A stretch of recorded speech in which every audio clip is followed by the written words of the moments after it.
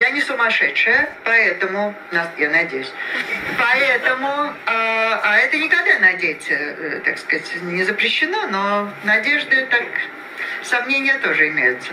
Я имею в виду, что вообще удастся ли нам когда-нибудь узнать, как на самом деле мозг функционирует. Если с чем-нибудь по сложности его можно сравнить, то только с Вселенной самой. Это невероятно сложная система. Она запредельно сложна. Я бы даже идиотскую шутку употребила, а именно, что мозг нам не по мозгам. Что нам, да, что нам, нам не справиться с этим. Я э, постараюсь это показать. Э, но, но нам надо все-таки что-то про это знать, потому что, я повторяю, это в противном случае э, совсем ускользает наше поведение, то, как мы принимаем решения, это вообще куда-то уползает в другую сторону. Вот эти э, буквы F, которые я выделила, они обозначают слова, э, которые относятся к тем э, возможностям людей, которых нет ни у кого другого из живущих на этой планете. Вообще вот основная э, такая дилемма, которая вокруг всего этого крутится, это кто мы такие? Вот люди это кто? Это такие же, как другие, только умнее. Вот это основная точка зрения такая вот у большинства людей, включая даже специалистов. Это что э, разные здесь люди живут, мы просто умнее, быстрее, ловчее, мы прыгаем лучше, бегаем лучше, думаем лучше. Лучше. Лучше это значит в целом так же. Вот это, вот это как раз... Нет, ну, э, вы, наверное, я неправильно выразилась. Я имею в виду, что алгоритмы если это алгоритмы, что не в вашей аудитории говорит, но это я постараюсь объяснить, как бы те же, только у нас качество лучше. То есть мы быстрее и умнее, а в целом все то же самое. Потому что э, когда изучают высшую нервную деятельность разных наших соседей по планете, то говорят, да, и у них есть такая память и сякая память, и они умеют делать это и это. Только мы, вот мы такие орлы, мы умеем лучше всех. У всех есть коммуникационные системы. Я сейчас приеду к этому, вы не думайте. Это у меня такая манера говорить уж, как могу. Эм, что эм, у всех живых есть система коммуникаций. Нет живых существ на планете, которые бы друг с другом как-то не общались. Не только друг с другом, но и со своими жертвами, и с хищниками, с врагами и так далее. То есть система коммуникации есть у всех, включая одноклеточных каких-нибудь очаровательных существ типа инфузории туфельки. Она тоже общается, только химически. Значит, масса существ есть, которых э, дикое количество на этой планете. Одни общаются с помощью химии, другие с помощью электричества, третьи магнитные поля какие-нибудь, четвертые умеют вокализацию, то есть акустика, пятые, я не знаю, запахами, то есть масса вариантов. Но таких, которые бы не общались вообще никак, и чтобы у них не было этой системы, они Такой даже нет. не понимают, что я так расшумелась, потому что они говорят, язык есть у всех. Я говорю, и даже хуже, чем вы думаете. Потому что есть э, язык вееров, правильно? Почитаем там 18 век. Значит, если я веер так держу, то приходи, а если так, то Козел ты, да. Язык лошадь, как мы знаем, в очень широком смысле. В разных культурах разное. Э, в одних местах можно сидеть, в других нельзя. В одних в шляпке, в других без шляпки. Есть много разных коммуникационных систем, которые как-то налаживают э, или наоборот разрушают взаимоотношения между членами каких-то сообществ. Поэтому, да, есть, но, но наш язык, он особый он, он вообще, он иначе устроен, и он выполняет другие функции. Более того, у человека много разных языков. Вот они на букву F. Никто, э, ФУИТ это на тему движений, я буду говорить про балет. Фонема это на тему того, как устроен человеческий язык, в отличие от всех других языков формула, у нас есть математика. Насколько мы знаем, ни у кого другого математики нету. По крайней мере, в том смысле, как мы про это понимаем. Хотя Э, уж я друзей подбираю как надо, можете не сомневаться. У меня есть коллега, которая в Новосибирске. Вот, кстати, если вам интересно будет, она, да, такая же Анна Резникова. У нее лаборатория, где она изучает интеллект муравьев. Боже милости, я там была. Это вообще что-то страшное. Она говорит, особенно умен номер одиннадцатый. Вы видели вообще муравья, да? Вот у него мозг какой, вы догадываетесь? Дело не в том, что он маленький, но такой же сложный, как у нас он, он совсем маленький, и он совсем не сложный. Даже э, как бы сомнение есть, мозг ли это. Да, но, но, тем не менее, они у нее разве что интегралы не берут. Они черт знает, что выделывают эти муравьи, они там ходят по лабиринтам, решают слож... сложные математические истории. Не в смысле формулы пишут, но алгоритмы, которые они находят для того, чтобы там выполнить ее задание, они сложны. Я хочу понять, как это, чем они это делают? У них нет того места, чем это делается. Когда мы обсуждаем мозг, обычай один из, много метафор на тему того, что такое мозг. Одна из метафор такая, что вот каждый нейрон сам по себе ничего не умеет. Нейрон – это клетка э, системы, и это основной игрок, э, если игрок, Э, основной игрок на этом поле, и вот их дикое количество, что я и покажу. И, но каждый сам по себе вроде ничего особенного собой не представляет, а зато вместе что они вытворяют. Так с муравьями такая же история.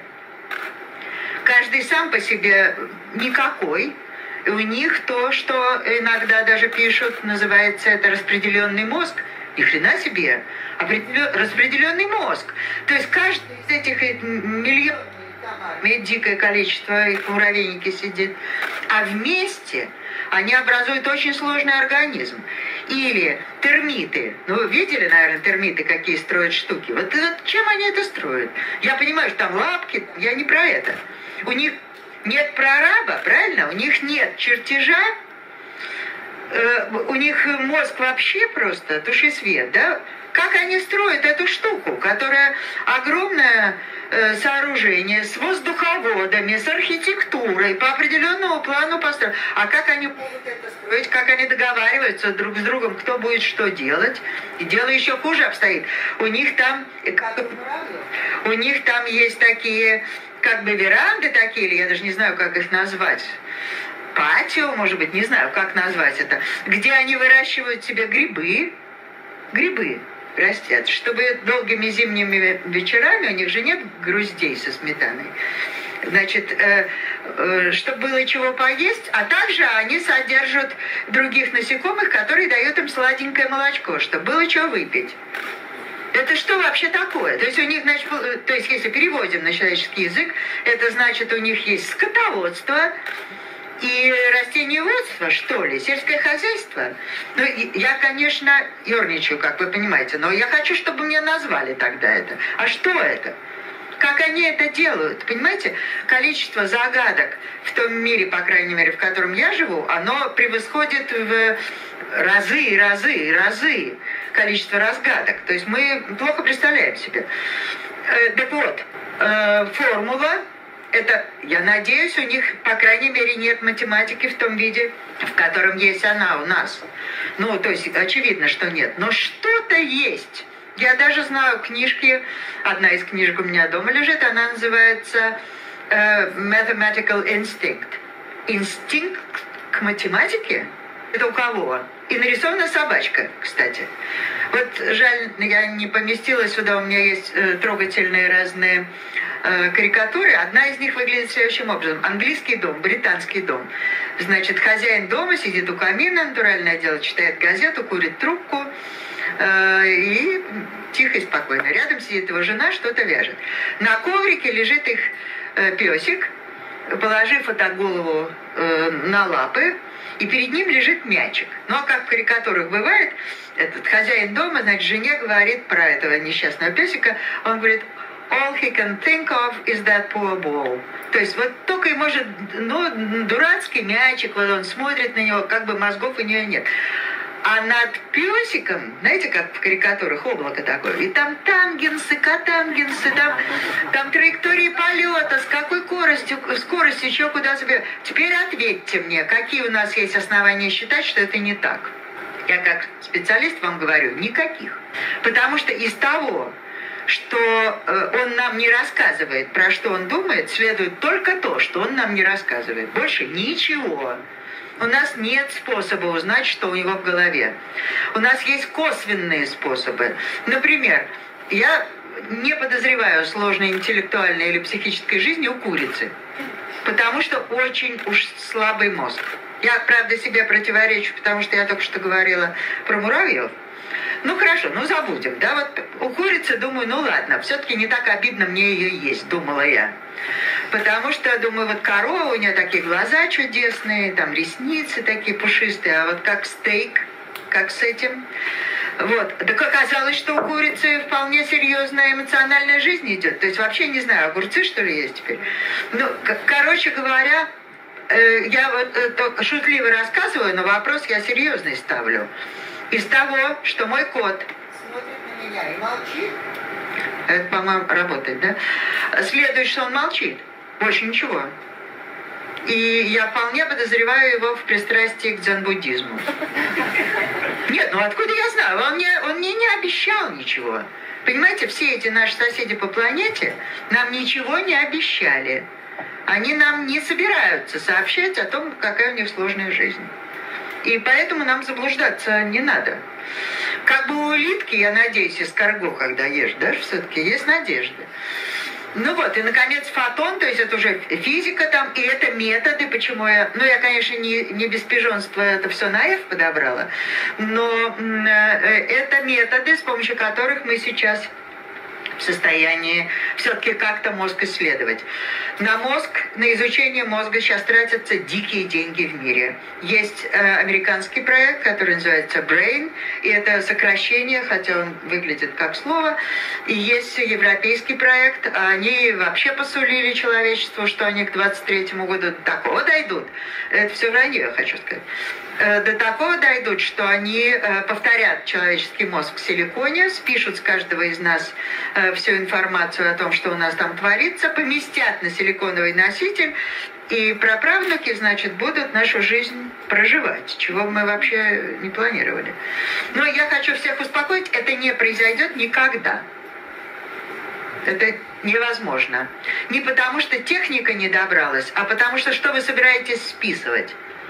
Даже если представить себе, что мы сможем зафиксировать все, что происходит в нейронной сети. Вы, а то, что пятка чешется, вкус губной помады, понимаете, там все. Туда надо списать мир. Вообще весь мир туда должен быть записан. А в какой момент, если не секрет? В момент, когда, так сказать, уже апостол Павел стоит приветственно, рукой, в какой момент вы списывать собираетесь? И там много слоев, и они все время меняются. Наша память меняется постоянно. Память это не ящики, не библиотеки, это не кладовка. Это постоянно перезаписываемые файлы. Даже то, что я сегодня утром, э, я не знаю, там, скажем, на пиджак на свой смотрела, вот сейчас уже другое, потому что вы вокруг сидите. И это значит воспоминания вот об этом – уже включает в себя всех остальных. И это все время. Поэтому что вы собираетесь списывать, а? В том-то и дело, что остается все. Ну, хорошо, едем дальше. Клод Лелуш, известный кинорежиссер, смотрите, он что пишет. Есть только один постановщик, это творец – очень умные слова, кстати. В его пьесе играют миллионы людей, и каждый уверен, что он в главной роли. Ну, признаемся. Правильно? Так ведь? Самое интересное, что он прав, пишет умный Лелуш. Но пьеса запутана, никто не читал сценария, никто ничего не репетировал. А, все импровизируют и пытаются понять смысл роли и замысел пьесы. И некоторым э, крупным философам, вероятно, это удается в какой-то момент, и то потом они собой кончают с горя. Э, я э, вот здесь вот что помещаю. Эрвин Шрёдингер Это, э, ну, физик, гениальный физик, который один из создателей квантовой механики. И он, почему я про него сейчас говорю? Ну, во-первых, э, известен этот самый кот Шрёдингера, мой любимый персонаж. Я даже хотела брошечку надеть, но решила, что это слишком игриво. Э, он выпустил книжку в 47 году. Нет, не в 47, а в 44 вот ее издание, которое называется «Что такое жизнь с точки зрения физики». Это очень интересно, потому что эту книгу пишет физик. Не, э, и это не игрушка, а это такое серьезное думание – эта книжка была очень быстро переведена на русский язык. В 1947 году она уже вышла по-русски.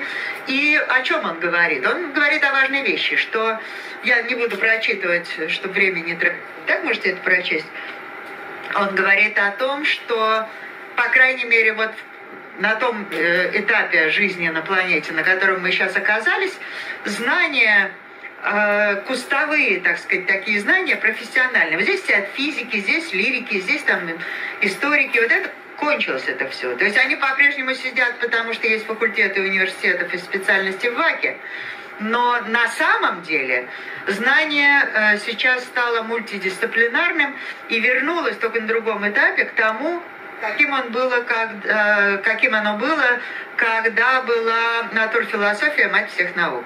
Когда Гёте одновременно писал стихи, изучал кристаллы, изучал цветовое зрение, э, барышень там прихватывал за все места. И все это одновременно было. Понимаете, таких людей нету больше, их нет.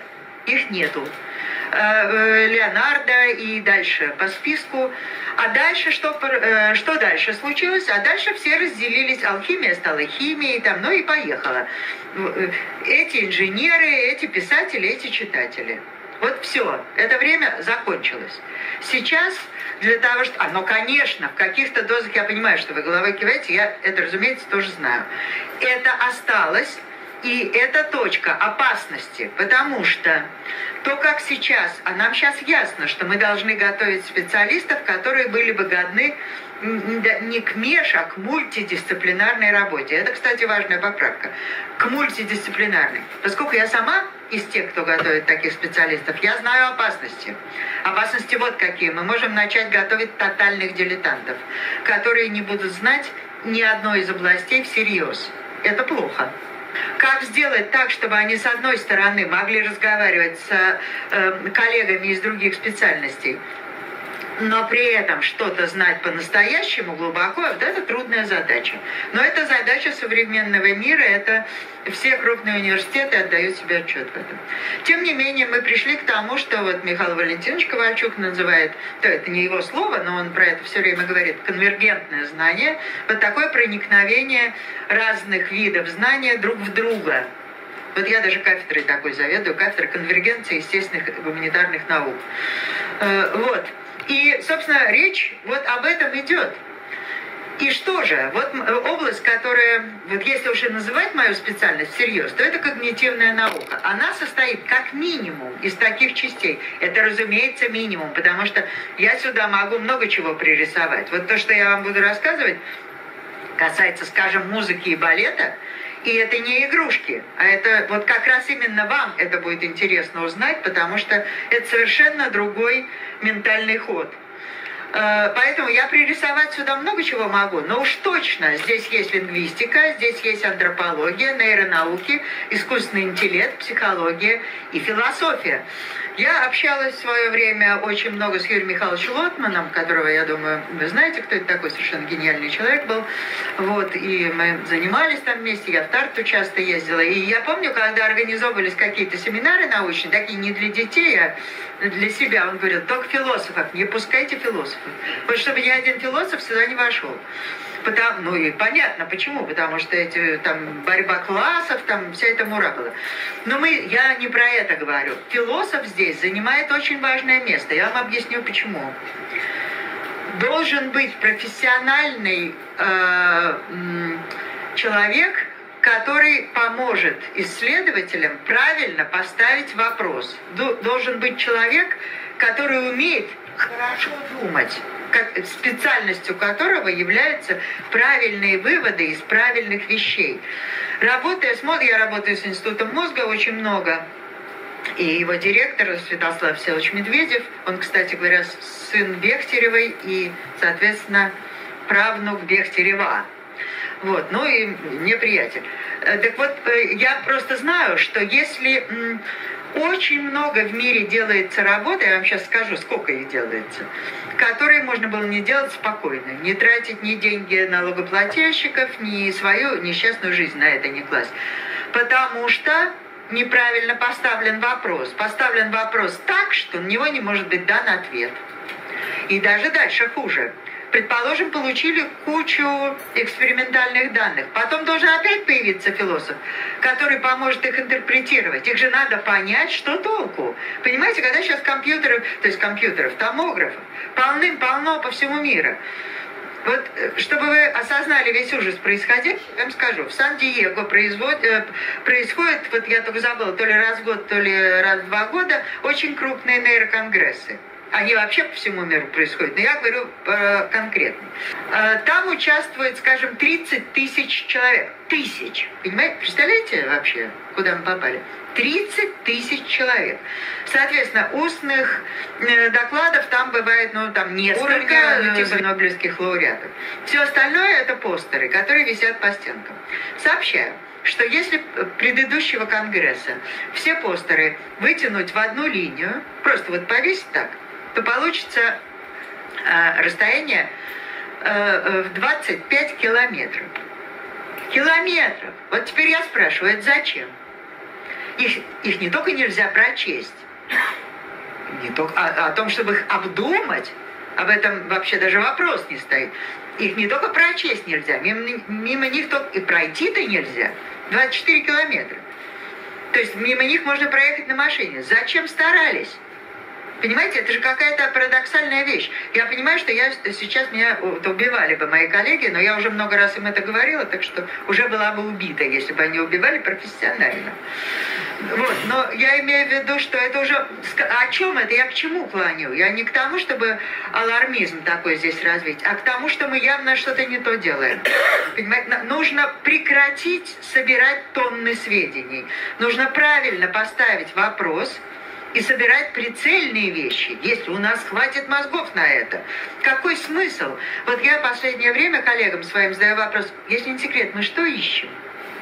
Нет, ну что мы ищем в мозгу? Я хочу там найти что? Место, что э, дает нам томограф? Он нам показывает, когда я считаю, то вот здесь что-то крутится. Когда я пишу, то здесь, а когда я пью шабли, то вот здесь. Я это хочу узнать. Ведь я это не хочу узнать. Правильно? То есть я, я что, сумасшедшая? Я должна найти для этого бокала место, для этого щипчики, часы, да, пульты. Это, это я ищу. Тогда я слабоумная.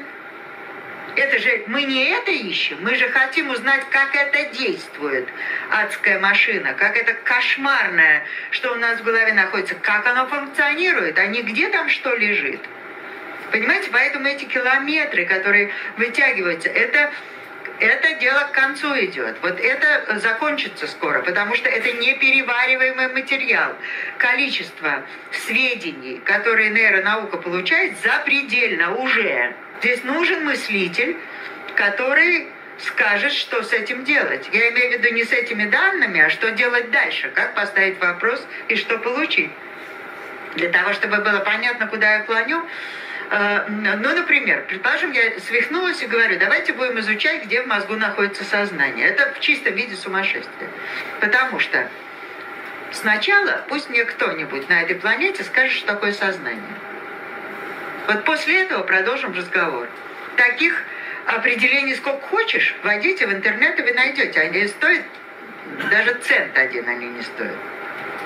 Это значит, что я не могу его искать, потому что я не знаю, как оно выглядит. Предположим, я даже получу материал, я его никогда не опознаю. Я всегда скажу, а это память, а это ассоциации, а это у вас язык задействован, а это э, у вас чувство жажды и ненависти к человечеству. То есть я много чего наговорю. Где я сознание это? Как я его ухвачу, если я не знаю его лица? Э, Теяр де Шарден, если кто не читал этого автора, он, когда я, мы учились в университете, он был запрещен ума не приложу, чего они только не запрещали. Уже это-то что? Ну вот, но это очень интересная книга, кто не читал, советую прочесть. Он пишет, история жизни есть по существу развитие сознания, завуалированная морфологией. Гораздо более невинно выглядит, чем на самом деле. Развитие сознания, история жизни на планете, развитие сознания, это что значит? Что как некая цель, если мы вдруг поверим, что есть такая цель, а мы просто не знаем, но если есть некая цель, то значит у природы или у создателя, там как ни называй, была идея, чтобы в итоге возникло сознание из природы. А если не секрет, зачем? Вот это мой вопрос к природе. Конечно, я догадываюсь, что вы обо мне думаете. Все-таки его задам. Мой вопрос к природе. Ей зачем существо, которое обладает сознанием? Э, то есть существо, которое раскрывает законы природы. Они там и так действуют.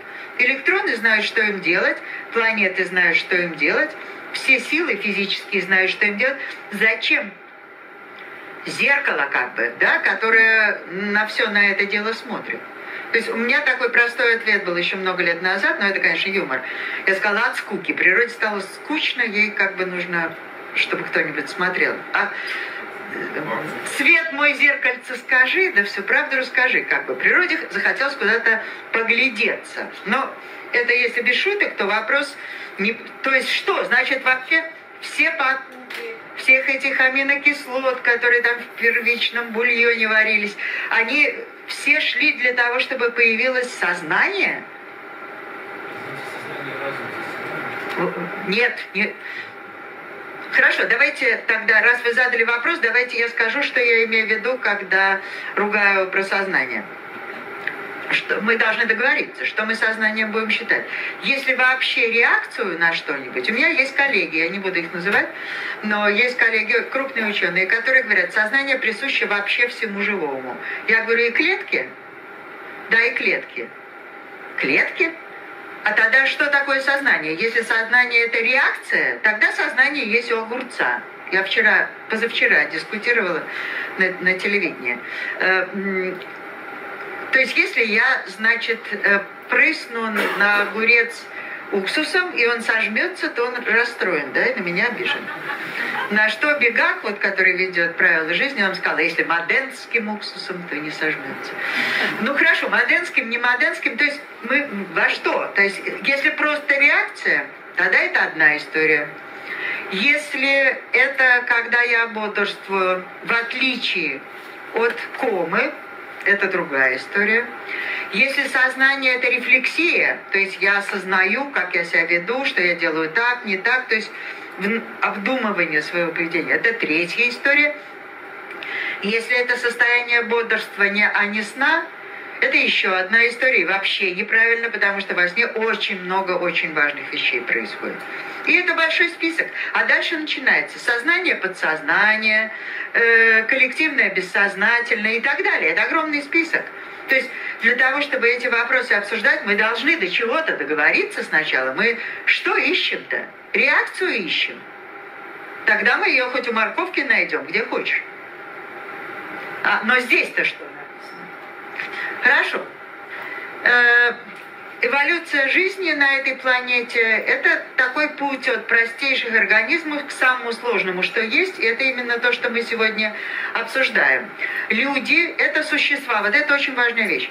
Люди – это существа, которые создают, в отличие от всех других, насколько нам известно. После того, что я сказала про песика и котика, я вот я больше это не буду повторять, которые создают то, чего нет. То есть они не переделывают природу, которая есть, а они создают вообще несуществующие до того вещи. Это э, искусство, литература, языки, математики, музыки и так далее, весь список.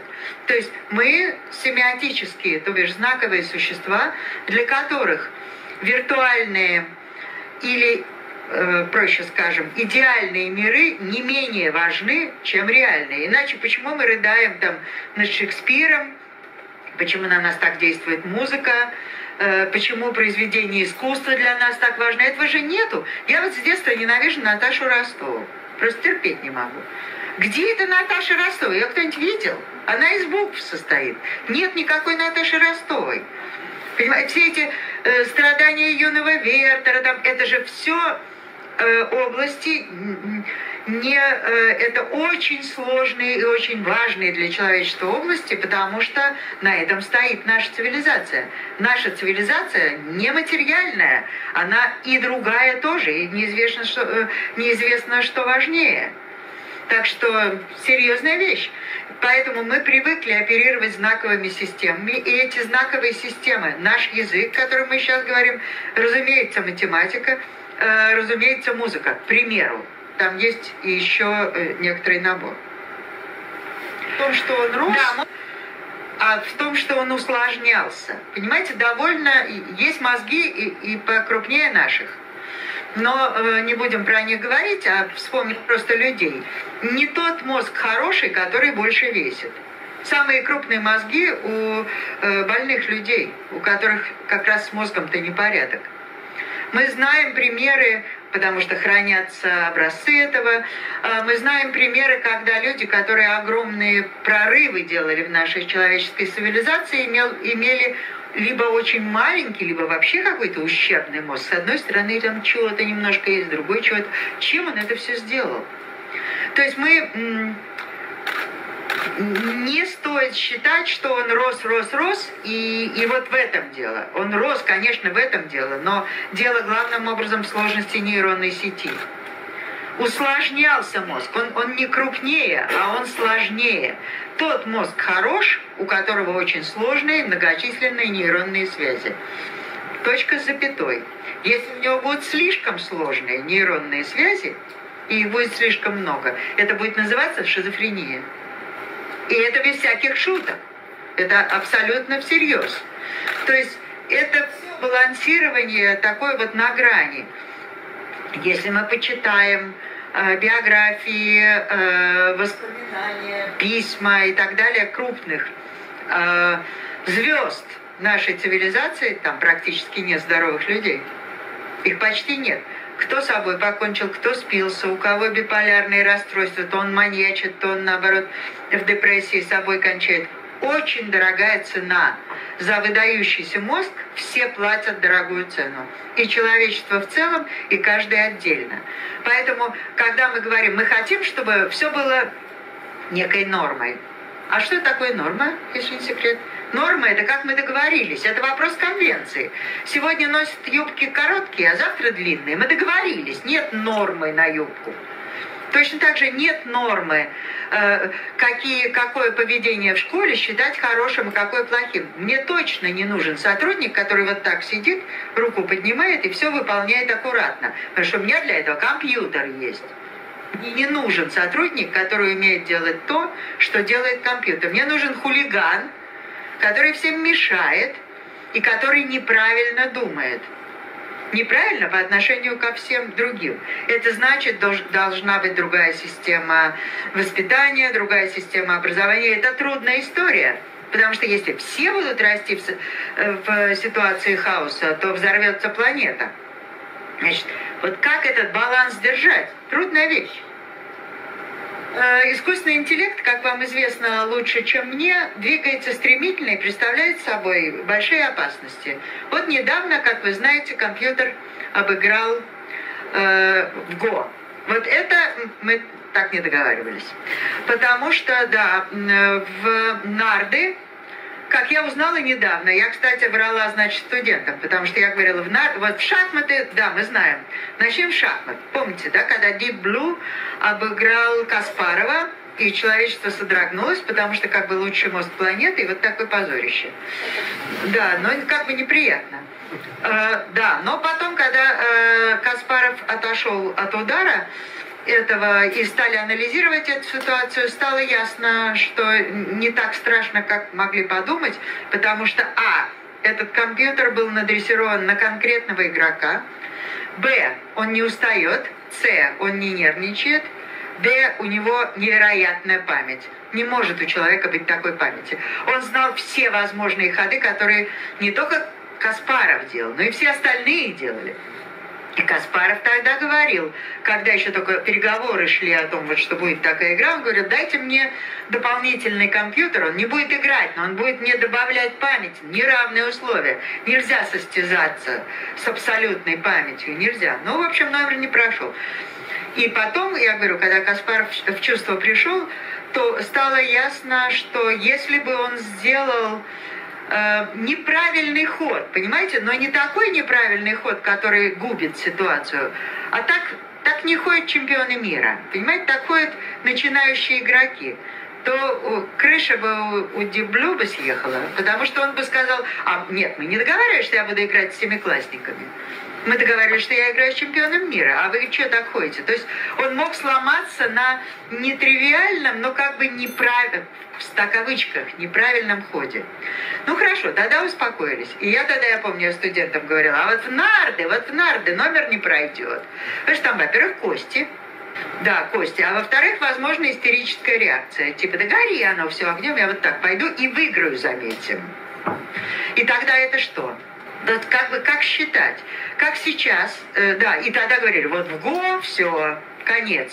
Вот ГО номер не пройдет, потому что, во-первых, количество э, ходов э, вообще запредельное, там очень много считать надо. Ну и что, много-немного. Э, суперкомпьютеры увеличивают свои возможности, мы знаем, с какой скоростью. Но вчера не может, а сегодня может. Не в этом дело. Вот где мы сейчас остановились, если я правильно понимаю ситуацию, это на играх э, с неполной информацией типа покер, например. Вот вот тут непонятно как, потому что э, э, это, ты не можешь это просчитать. Кроме того, это фейс, как мы знаем, там они еще врут, блефовать его надо научить. Его многому научить надо. Как вы понимаете, это же не игрушка. Речь идет не о том, чтобы найти себе партнера для покера, а речь идет о том, какие есть вещи у нас, которые не поддаются алгоритмическим процедурам. Вот о чем речь-то идет. Вот э, если бы у нас было там больше времени, у нас его нет, естественно, то э, я бы привела примеры того, какие э, метафоры человечество придумывало для описания того, как действует мозг. То это помпа какая-то была, потом телеграф, ну, там разные примеры были. Чуть ли не Аристотель говорил, что вот когда насморк у человека, то это что мозг охлаждался, там жидкость оттуда отходит. Ну, прелестные вещи были. Но последние много десятилетий все говорят, мозг это компьютер, потому что нет другого, э, нет другого э, кандидата. Может, он и компьютер, но точно не тот. То есть там, конечно, часть его это тот, с которыми, опять же, не при вас мне говорить. Вот. Но другой-то там есть игрок. И этот игрок на тему um, first person experience. Или э, латинский есть термин квалия. Квалия – это впечатление от первого лица, ощущение от первого лица. Что-то холодно. Вот это что такое? Или это вино э, для меня слишком сладкое. Это что? Понимаете, это никакой хроматограф, никакая аппаратура вам не, здесь не поможет. Это не вопрос взвешивания или химического анализа. Это вопрос, я чувствую, что нужно сделать так. А э, у нас половина жизни у тех, кто вменяем, проходит именно в этом. Я про себя знаю точно. Если мне некий внутренний голос – не голоса в психиатрическом смысле, тьфу, не сглазить, вот, но некое чувство мне говорит, не делай этого. Если я такая дура, что я тем не менее сделаю, я расплачусь непременно. Я должна доверять этому нюху. И вот этот нюх, он не попадает в категорию э, цифровых э, технологий. Вот этого там нету. Почему эта музыка красивая, а это некрасиво? Понятно Очень полезно э, смотреть на... Вот есть такой чудесный, к счастью, хотя я очень болен, но жив, э, Дмитрий Александрович Поспелов, специалист по искусственному интеллекту, знаменитый, который в свое время приводил примеры из кулинарии. Вот это очень... Вот из кулинарии хорошо, и из инструкций, которые ты даешь такси, например. Вот там есть такси, когда вас доехать. Ты им говоришь, вот там проедете, такое синенькое здание будет. Но оно может и не синенькое, но вы увидите в целом. Да, и вот там будут кусты, вот вы объедете так их, ну и, в общем, там будет ясно. Это что такое? И ведь находят при этом. Или кулинарные рецепты. Немножко э, Да коричневые, да, немножко лук так попассировать, да? По вкусу, по вкусу, по вкусу добавить того-то и еще немножко потушить до готовности. Что с этим делать? Оно, я к чему клоню? То, что сложно компьютеру, очень просто человеку. То, что очень просто человеку, практически невозможно сформулировать для машины. Потому что это не пересекающиеся вещи, это разные системы. То есть это на тему аналоговых э, компьютеров, естественно. И сюда попадает все искусство. Поэтому сумасшедшие, которые пытаются количеством рифм а, описать, почему Пушкин там лучше или хуже Шекспира, это не по делу, они не то делают. Нас всех очень интересует, нас, я имею в виду людей, есть ли какие-то гены, которые специфичные для человека. Вот только у человека, у других нет. Ведь весь спор, я с этого начала, люди это такие же, как все остальные, только получше?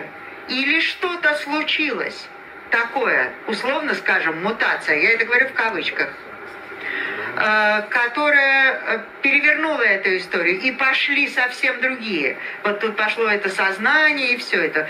Это что? Один из кандидатов, таких кандидатов довольно много, один из кандидатов это вот ген HAR1, он э, расшифровывается как Human Accelerated Region 1, иногда еще букву F ставят, то есть forward, передний. И в нем я думаю, все помнят эти безумные слова насчет того, что у нас 99 и после запятой еще много знаков общих генов с шимпанзе. Все читали, наверное, это. Ведь согласитесь, это же безумие. Вы разницу между собой и шимпанзе наблюдаете, я надеюсь? Я, как это может уложиться в десятые или там тысячные доли процента? Это же здесь же явно что-то не то. Они не то считают. Что они считают? Итак, если посчитать иначе, то 118 различий есть между нами и шимпанзе. 118. А для сравнения шимпанзе и птицы, которые вообще параллельны эволюции, вот здесь вот птицы, а здесь идут шимпанзе, между ними только два. Так что события это серьезные шли. И э, поэтому эти проценты, это так же, как уже здесь мне задавали вопросы, правда ли, что 3% нашего мозга только действуют, а остальное бездействует, это все бабушкин рассказы. Короче говоря, есть участки, которые странным образом стали эволюционировать с огромной скоростью. Вот это, кстати, для меня, поскольку я не генетик, я хотя и доктор биологических наук тоже, но я не генетик, о чем очень сожалею. Но я с ними общаюсь и стараюсь набраться как можно больше. До меня дошла вещь, которая, возможно, есть в каждом учебнике генетики, просто я про это не знала. То есть, значит, геном э, шел э, разными темпами в разных местах, то есть не то, что вот этот организм весь развивается каким-то там темпом. Я не знаю, тысячи лет у него, или миллионы лет, или миллиарды лет у него уходит. Но как бы он идет? Оказывается, нет. Какие-то части генома идут таким темпом, а какие-то другим. Я к чему клоню? К тому, что в нашем геноме человеческом некоторые участки, и эти участки самые главные для нас. Это то, что стало нашими лобными долями. Мы именно ими совершаем все главные когнитивные операции. Вот он стал развиваться в 50 раз быстрее, чем э, все остальные отделы. Я когда это прочла, я, во-первых, решила, что опечатка, что не 50, а 5. Если даже 5, все равно это души свет. Но 50 это я вообще не понимаю, как это может быть. То есть с какой-то стати создатель, не боюсь этого слова, решил, как-то медленно дело идет. Надо, да, но в нужном направлении. Вы понимаете, это же не шло в сторону, у нас хвост необыкновенной красоты развился. Оно же шло в сторону когнитивную, в сторону мозгов, Потому что для того, чтобы мы могли делать все, что мы делаем, нам нужен особый мозг. Очень сложный мозг. Он, должен, он не берется ниоткуда. Ну, в общем, вот такая вот вещь. Э, и что? И дальше поехала. Поехали языки, поехали этносы, И поехали гены. Я почему через запятую ставить? Генетика сейчас мощнейшая наука. Она дает нам информацию, которой у нас не было никогда, а именно кто на Земле, кому родственник. Эти народы действительно вместе жили? Или это историки придумали? Или ошиблись, или намеренно, или по глупости? Там есть общие гены или нет? Когда начинается наша история? Когда мы стали более-менее разумными. Это, это когда вообще случилось все. Генетика э, разрешает нам эту информацию. Еще сколько-то лет назад я студентам лекции читала и говорила, я снопка, я снобистски говорила. Какой, ну, неандертальцы, да, ну, много там всякого было. Были неандертальцы, нам до них дела нет, это бастарды, незаконно рожденные, кроме того, мы их победили, погибший, погибшая ветвь. Все неправда никуда не погибшая. В современных людях есть неандертальские гены. И э, откуда мы это могли знать или не знать? Вот отсюда мы знаем. Это я к тому, что наука много умеет разных вещей. И в частности она говорит, вот э, слышали, наверное, что, скажем, баскский, э, баскский язык, это где Эм, да, ну понятно, и грузинский. Что-то общее, как у них вышло? Вот, вот дорога, по которой надо ходить. Они э, где перемешались? Это языки перемешались просто потому, что мы друг с другом разговаривали, они перемешались?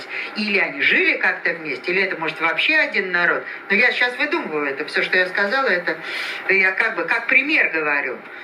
Ну, хорошо. Язык, наш язык. Вообще вот я бы сказала так, на мой вопрос, эм, точнее говоря, на вопрос студентов. Кто такие люди? Я, я их провоцирую все время. И говорю, человек это кто? Между прочим, вопрос не, не тривиальный. Человек это тот, кто на двух ногах, у кого нет шерсти в избытке, у кого нет перьев, у кого нет хвоста. Таких много.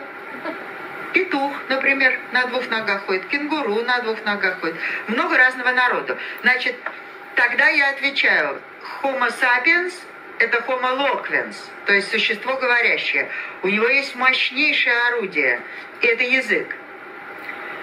Ну ладно, э, но а он также Homo думающий и думающие особым образом. Есть лингвисты на планете, и один из них э, «Звезда из звезд», это Наум Хомский, и он вообще считает, что язык э, был создан, я в кавычках на всякий случай, был создан не для коммуникации. Представляете, это вообще переворачивает историю, а для думания.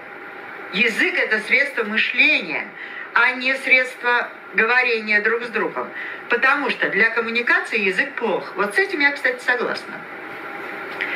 А, иначе откуда коммуникативные провалы? Все время люди разговаривают друг с другом, никакого толку. Самое милое дело для коммуникации – это азбука Морзе. Вот сколько здесь отстучал, столько здесь получил. Никаких трактовок. Человеческий язык страшно многозначен. Одни и те же слова значат разные вещи, в разных контекстах они значат разные. Кто говорит, когда говорит, знакомы они или нет, друзья они или нет, что они читали, э, разделяют ли они общие знания и идеологические принципы и, и так далее. Это огромный список. То есть никакая книга не содержит информацию полную. Ее информация появляется тогда, когда появляется читатель. Соответственно, информация – это объект плюс тот, кто этот объект рассматривает, слушает или читает.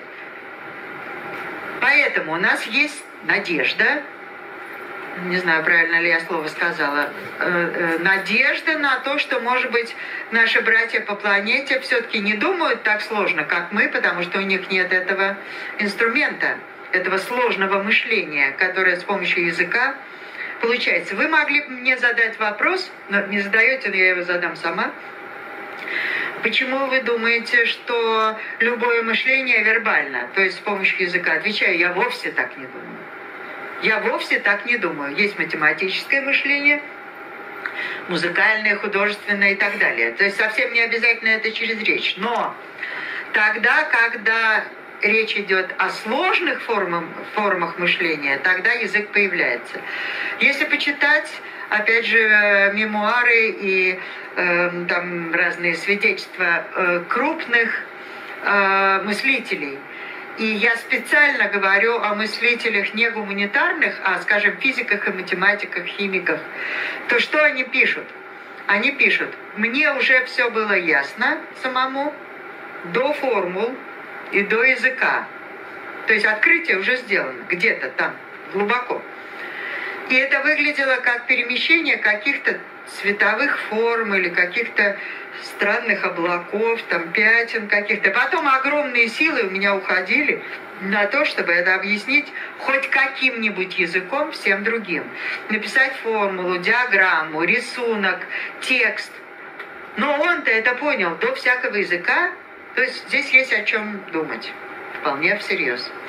Наш язык имеет генетические корни. Язык я имею в виду вербальный, тот, которым я говорю, а вы сейчас воспринимаете. Он имеет генетические формы, то есть генетические основы, и у него есть некие универсальные базисные принципы, которые характерны для всех языков Земли. На нашей планете примерно 7 тысяч языков. Примерно, потому что зависит от того, как считать. Там диалект, не диалект, то есть это отдельная история. И кроме того, это количество все время меняется, языки исчезают э, и так далее. Но все равно 7 тысяч это немало. Они драматически отличаются друг от друга. Но в каждом из этих языков есть некие базисные принципы. Например, есть субъекты и объекты, есть какие-то эм, сущности, есть действия с этими сущностями, ну и так далее. Это я не буду читать вам курс лингвистики, но это серьезная история. Есть базисные принципы, которые свойственны всем языкам планеты, соответственно, всем людям. Похоже, что у этого есть генетический базис. Это генетика не для конкретного языка. Вот это точно. Это нет гена, который сохраняет вам э, язык предков, там русский, телугу или там финский. Этого нет. Есть некий генетический механизм, который дает возможность каждому здоровому ребенку Земли выучить, как не выучить, а овладеть, это точнее слово, овладеть любым языком Земли как родным. Не стоит заблуждаться, что это легкая история. Это очень сложная история. Ребенок должен, не ребенок, а его мозг, должен э, дешифровать сложнейший из кодов, с которыми не могут справиться все лингвисты Земли. Он должен дешифровать тот языковой код, в который он попал. Он должен у себя здесь написать виртуальный учебник этого языка. Он построен совсем не так, как те учебники, по которым нас э, учат. Я вот по-английски там в пять лет начала говорить. Ну, не то, что там сильно говорить, но, в общем, я им владею этим языком. Я недавно просто наткнулась в университете на учебник английской грамматики, который какая-то дура написала очередной раз. Я его отк... я, вот я вам клянусь, я вообще ничего не поняла. Просто вообще, вот ничего. Что там написано? Это безумие какое-то. Они пишут эти учебники, как сами видят. На самом деле этот учебник написан здесь. Мы бы дорого отдали, э, большую бы цену заплатили, если бы мы знали, как это на самом деле устроено. Это бы перевернуло наше... Не только это, я просто про язык говорю, это вообще про все. Это перевернуло бы наше образование, системы коммуникаций, устройство социумов. Это много бы чего перевернуло, если бы мозг открыл свои тайны, как он это делает. Вот на это наука-то направлена. Она хочет понять, как, как это функционирует все. Ну хорошо. И э, у нас есть зоны, вот здесь вот брака зона, вот здесь зона верники. Э, зона брака у меня сейчас активно работает, потому что я говорю, а зона верники работает у вас, потому что вы слушаете, а не говорите. В простом варианте так. А в сложном варианте, если я голову любого из нас сейчас бы засунула в магниторезонансный томограф, то он бы показал, что весь мозг функционирует на полную катушку, потому что невозможно отделить язык от памяти, ассоциаций, внимания, еще тысячи разных вещей. И все это действует одновременно. Тем не менее, мы знаем такое. Вот лингвисты, генетики, этнографы, они составляют вот такие вот деревья, это разные языки, куда они сводятся. Мы ведь хотим свои истоки знать, мы хотим знать, мы откуда взялись. Я имею в виду не то занесли ли нас сюда с Марса, а как бы вот как это выглядит, это начало, как выглядит. Это что был единый язык, там Вавилонская башня приходит на ум там и так далее. Это вот как оно было? Почему оно стало делиться? Здесь вообще масса вопросов. Расы – это что такое? Этносы – это что такое? То есть мы не можем сейчас обо всем этом говорить, но это вот оно. Поэтому генетика, которая сейчас стала такой мощной, она дает нам в том числе ответы на вопросы вообще других наук, которые сюда и не лазали никогда.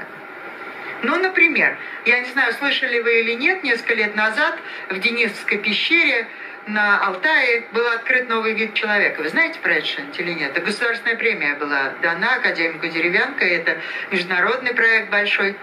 Да-да, если хотите, я вам скажу, потому что это интересная вещь. Мы считали, что... Мы просто, я и Анохин, и еще несколько человек генетиков, мы были там и смотрели на это. Это вообще просто завал.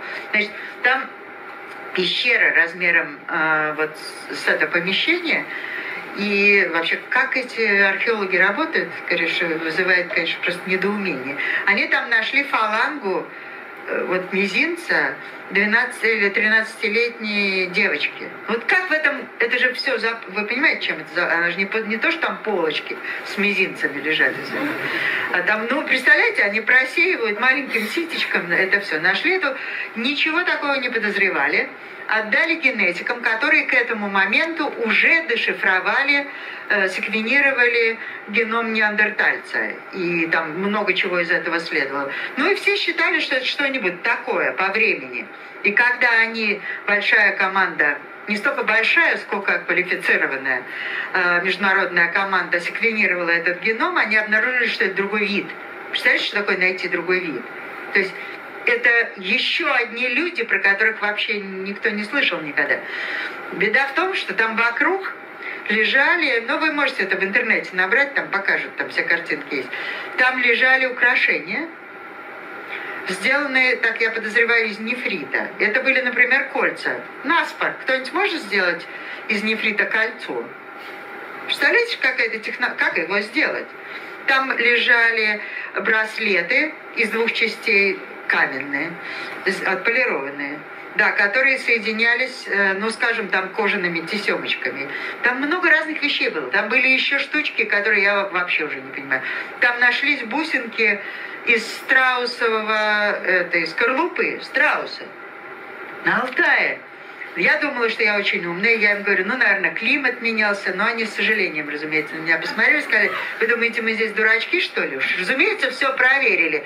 Не было здесь никаких страусов никогда. Тогда я задаю вопрос, как это туда попало? Что это? Оно же не по воздуху прилетело. Понимаете, то есть каждое такое открытие, оно нам переписывает нашу историю. То, что мы думали, опять очередной раз было, когда я в лужу села, я говорю, а куда делись кроманьонцы? Я помню, были кроманьонцы. Они мне говорят, кроманьонцы – это мы. Я вас поздравляю. Это мы и есть. Как бы последнее такое. Понимаете, то есть наша история переписывается все время. Сейчас мы подойдем там кое еще еще кое-чему. Это к вопросу о зонах мозга. Вот это очень совсем не полный список того, что связано с языком, и как это по мозгу распределено. То есть это вовсе не находится тут и тут, как я вам показывала. Как мы теперь знаем. Весь мозг участвует в этом. Э, голову каждого из нас, если засунуть в эту стиральную машину по имени томограф, то она вам это и покажет. Там будет все сразу. Там не будет, как мы надеялись когда-то, что ты, вот как там люди наивные говорят, так надо посмотреть, что в мозгу. Хорошо. Пилим, да, мозг, открываем. И что мы там интересно видим? Там что, так, ди, здесь ди причастие лежат, здесь глаголы переходные, а здесь как раз не переходные. Что там лежит-то? Там нейроны лежат, ничего там больше не лежит. Там лежат нейроны, глия, ткань, там ткань. Она это нам не отвечает. Нам это отвечает, если мы правильно ставим вопрос. Если мы из вот эксперименты, которые мы вели, у нас это в лучшем журнале хвастаюсь, э, Brain and Language журнал американский, лучший на эту тему, у нас там несколько статей опубликовано. Мы готовили опыт, который шел несколько минут, два года, два. Несколько минут это типа пять, не двадцать пять. Понимаете, это что мы знали, что там участвует радиоактивность, это позитронный эмиссионный томограф был, что человек не может там находиться много раз, подолгу и так далее. То есть мы должны были огромную информацию загнать в, нас, в наш маленький тест, так загнать, чтобы мы потом могли понять, что мы получили. Э, так, так что эти истории, они э, усложняются как бы я. Ну хорошо, вот эта картинка, э, это вовсе не рисунок, а это то, как теперь выглядит обработка э, нервных путей. Короче говоря, вот эти линии, они показывают, как информация идет, когда в мозгу, когда вы занимаетесь каким-то делом. Эта конкретно картинка, если вы прочтете там то, что там написано, говорит нам вот о чем. А, ну, собственно, наверху есть название. У художников, я имею в виду под художниками, широкая, то есть туда же и музыка, креативные, я бы сказала. У них мозг устроен не так, как у других людей. Почему нам это интересно? Вот я, собственно, с этого и начала. Там у меня, это вот я вам говорю совершенно ну, абсолютно новые вещи. Я об этом говорю второй раз, ни разу нигде не писала и с ужасом думаю о том, что надо бы написать, но не представляю как.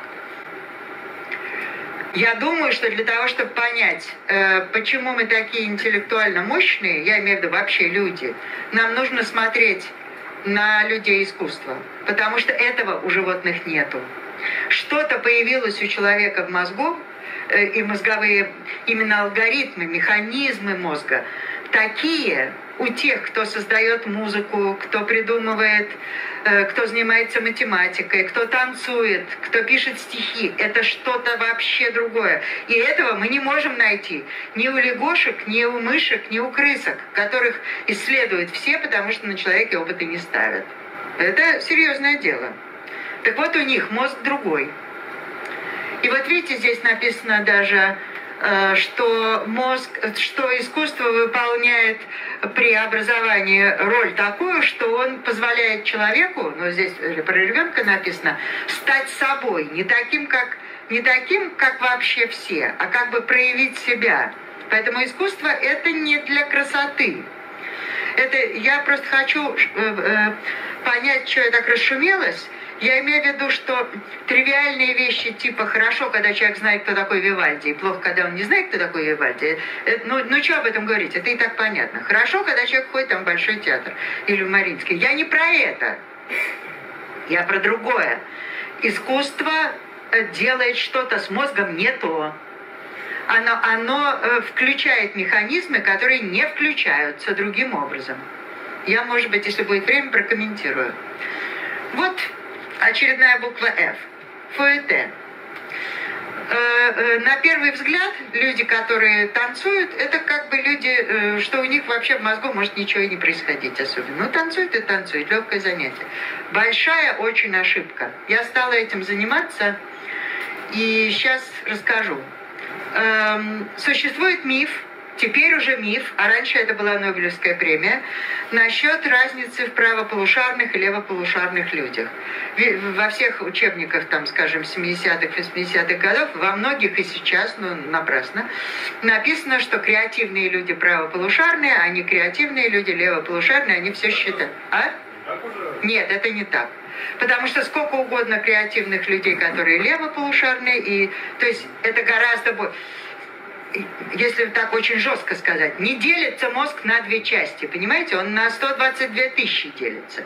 Речь не идет о э, кусках, речь идет о страшно сложной сети, а также сети сетей, сети сетей сетей, гиперсети этих сетей и гиперсети этих гиперсетей. Вот о чем идет разговор. Почему так сложно это стало все?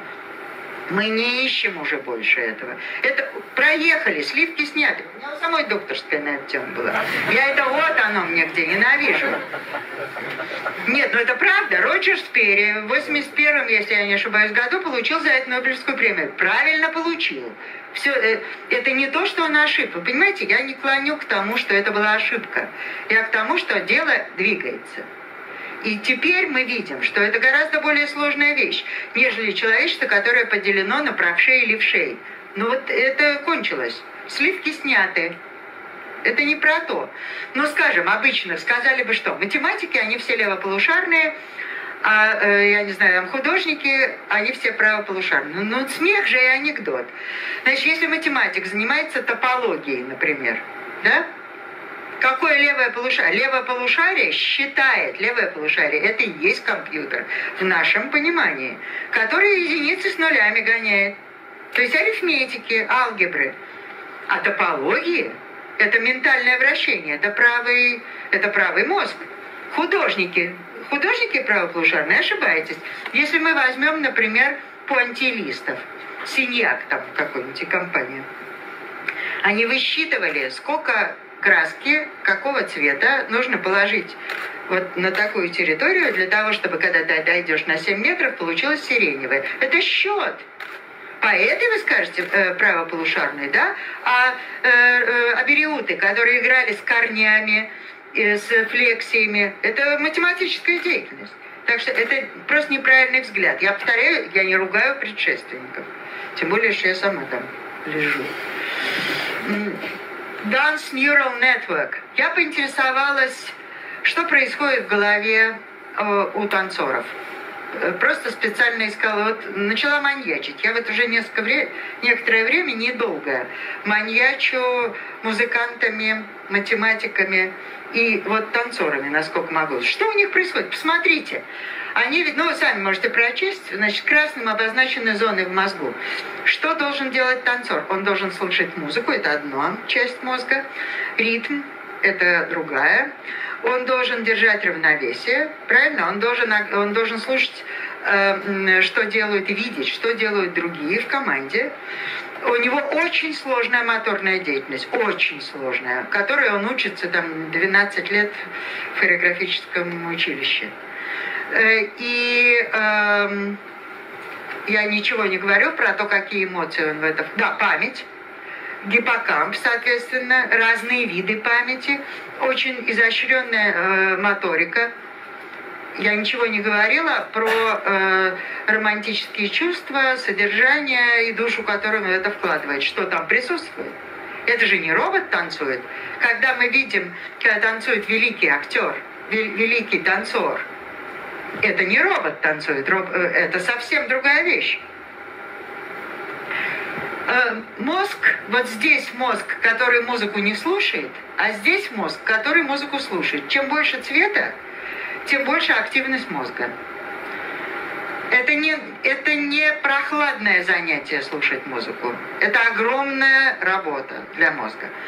Если бы э, я не была говорящей, а была сидящей, и э, это у меня частая такая роль, и хотела бы сокрушить того, который говорит, то есть если бы я была мой клон, то я бы прицепилась и сказала, слушайте, это все мура, потому что это простая, это правда, разумеется. Но я бы как прицепилась, я бы сказала, зависит от того, кто слушает. Слушает тот, музыкальное образование, у которого есть музыкальный слух, у которого есть музыкальный вкус, который любит джаз или э, Бартака, которые любят авангард или которые любят, когда на дудочке или там на дудуке играют. Это же все разные люди. Все эти картинки будут абсолютно разные.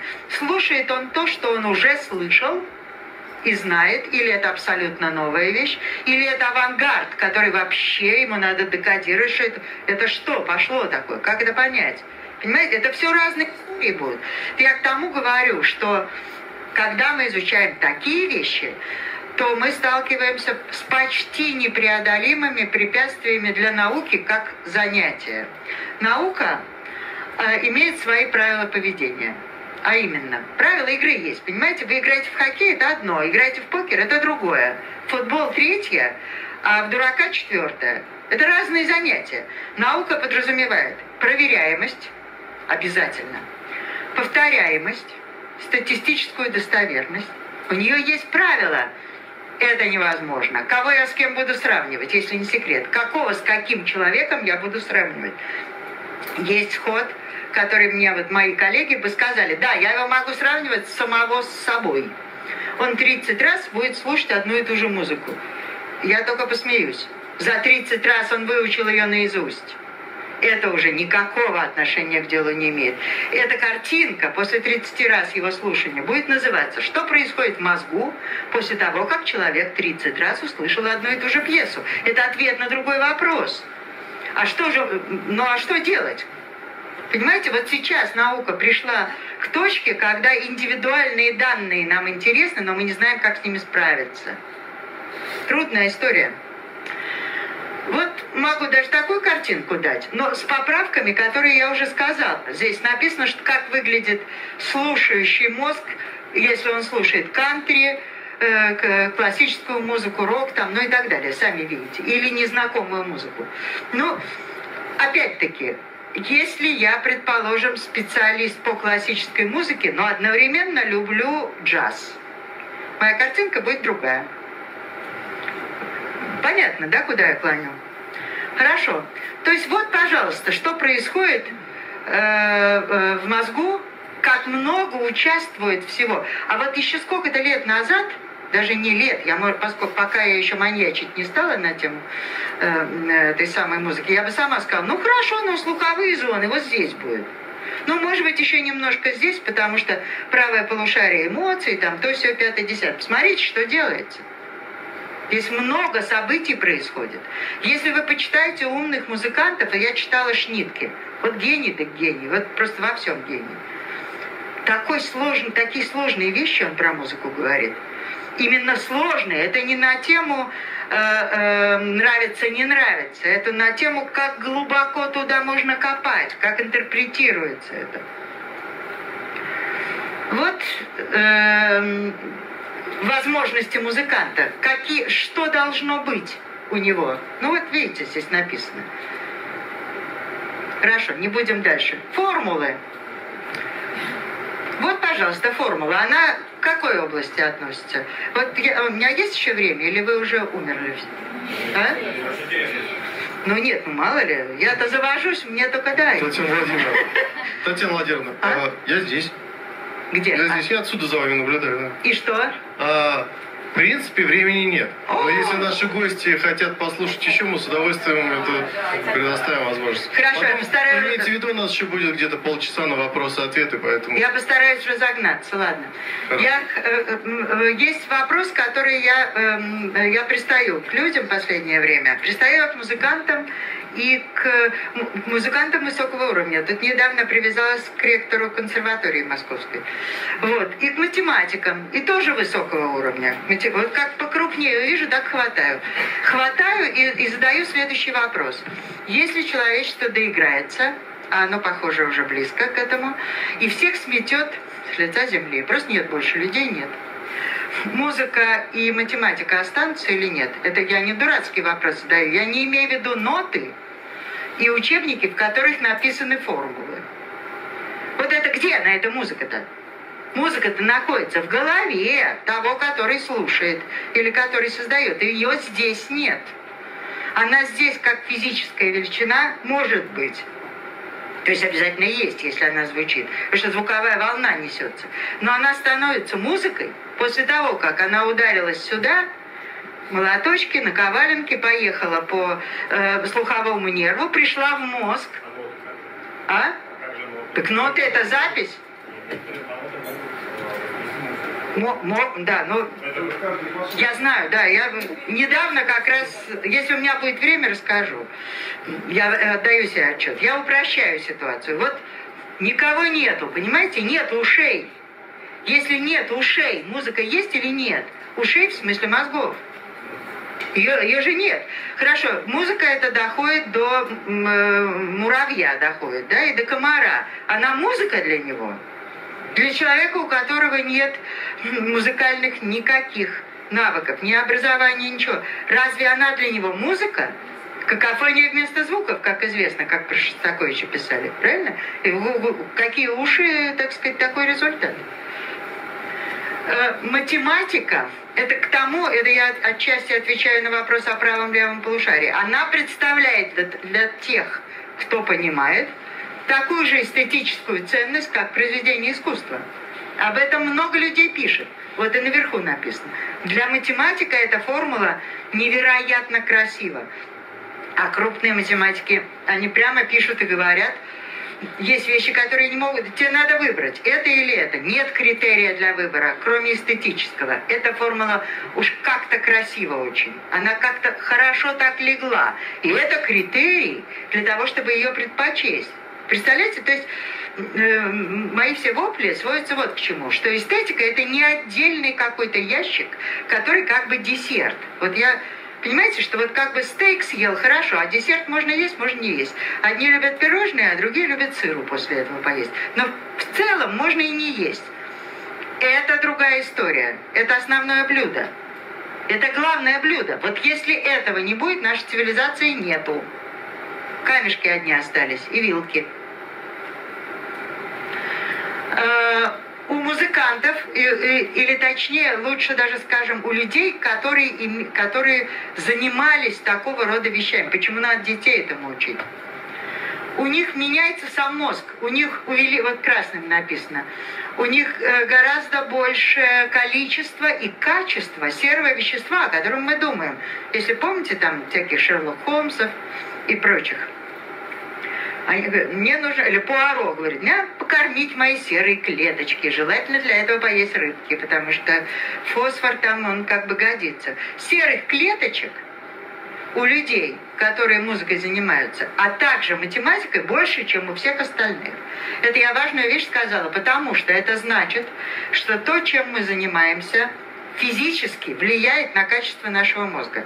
Оно не только ментально влияет, то есть мы думаем иначе, там, ощущаем мир иначе, оно физически улучшает. Вот оно. Э, ну хорошо, давайте это пропустим, раз у нас времени нет. Я хочу, вот, пожалуйста, вы знаете, да, эту э, э детективную историю про то, как врач, который аутопсию делал э, Эйнштейну, украл мозг. Знаете это, слышали? Значит, она там, который стащил мозг гения. Да, и он у него, к счастью, хранился. Он с ним ничего не сделал. Короче говоря, этот мозг выплыл недавно, год-два назад, выплыл наружу каким-то образом. И вот он здесь изображен. Его, естественно, исследовали на полную катушку.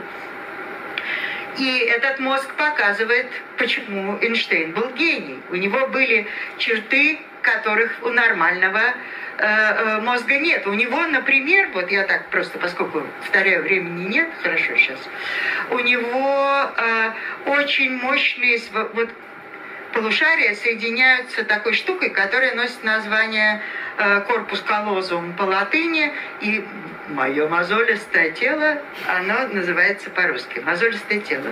Это такая штука, с помощью которой правый и левый мозг друг с другом общаются. Так, если попросту сказать вот эта штука у него была существенно большей э, величины мощи.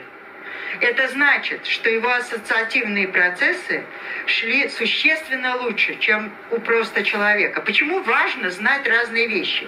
Почему нужно знать и на бабочек смотреть, и как в океане волна идет, и фильмы, и музыка, и э, в музеи ходить? Потому что это дает гораздо более пестрый и роскошный веер, по которым, которым вы решаете совсем другие задачи. Вы, решаете. вы будете решать иначе.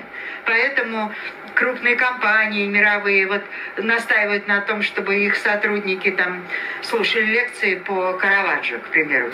Ведь не просто же для того, чтобы там, а у меня культурные сотрудники. Не об этом разговор, об этом тоже. Но не это важно. Это вот оно, что устраивает. Поля, да. Теперь, вот у меня есть некоторые вопросы. Вот эта гигантская сеть, которая у нас есть, знаете, сколько у нас нейронов? Ну, во-первых, черт двоих сосчитаешь, но если чуть-чуть, то примерно, то это примерно 100 миллиардов нейронов у нас в голове.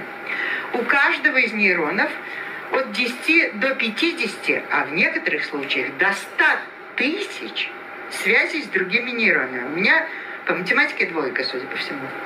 Но если вы посчитаете, а люди другие посчитали, это получается квадриллион, если не больше, связей в мозгу. Это в голове каждого из нас. Вы представляете, что там творится? Тогда у меня вопрос. А зачем такая огромная сеть? Почему она нужна? Такая, что, про запас? Для чего так много? Там должно быть много, но почему так много? Квадриллион это больше, чем элементарных частиц во Вселенной. Зачем такая величина э, в мозгу? Мы наши, э, э, нашу жизнь вполне могли, даже включая интеллектуальную жизнь, вполне могли обеспечить несопоставимо меньшими этими игроками. Зачем так много? Не знаю. Информация где хранится? Она хранится в каждом нейроне. Каждый из этих вопросов – это научное направление, поэтому я даже не буду комментировать. В пучках, в самой сети, внутри клетки. Может ли эта сеть работать автономно? Объясняю. Если у нас нет зрения, слуха, обоняния, вообще никаких выходов на внешний мир, что там будет делаться? Она может жить? Это очень сложные вопросы. Сознание, вот я пишу, не, не эпифеномен ли, оно вообще, это есть такое? Может, его вообще нет?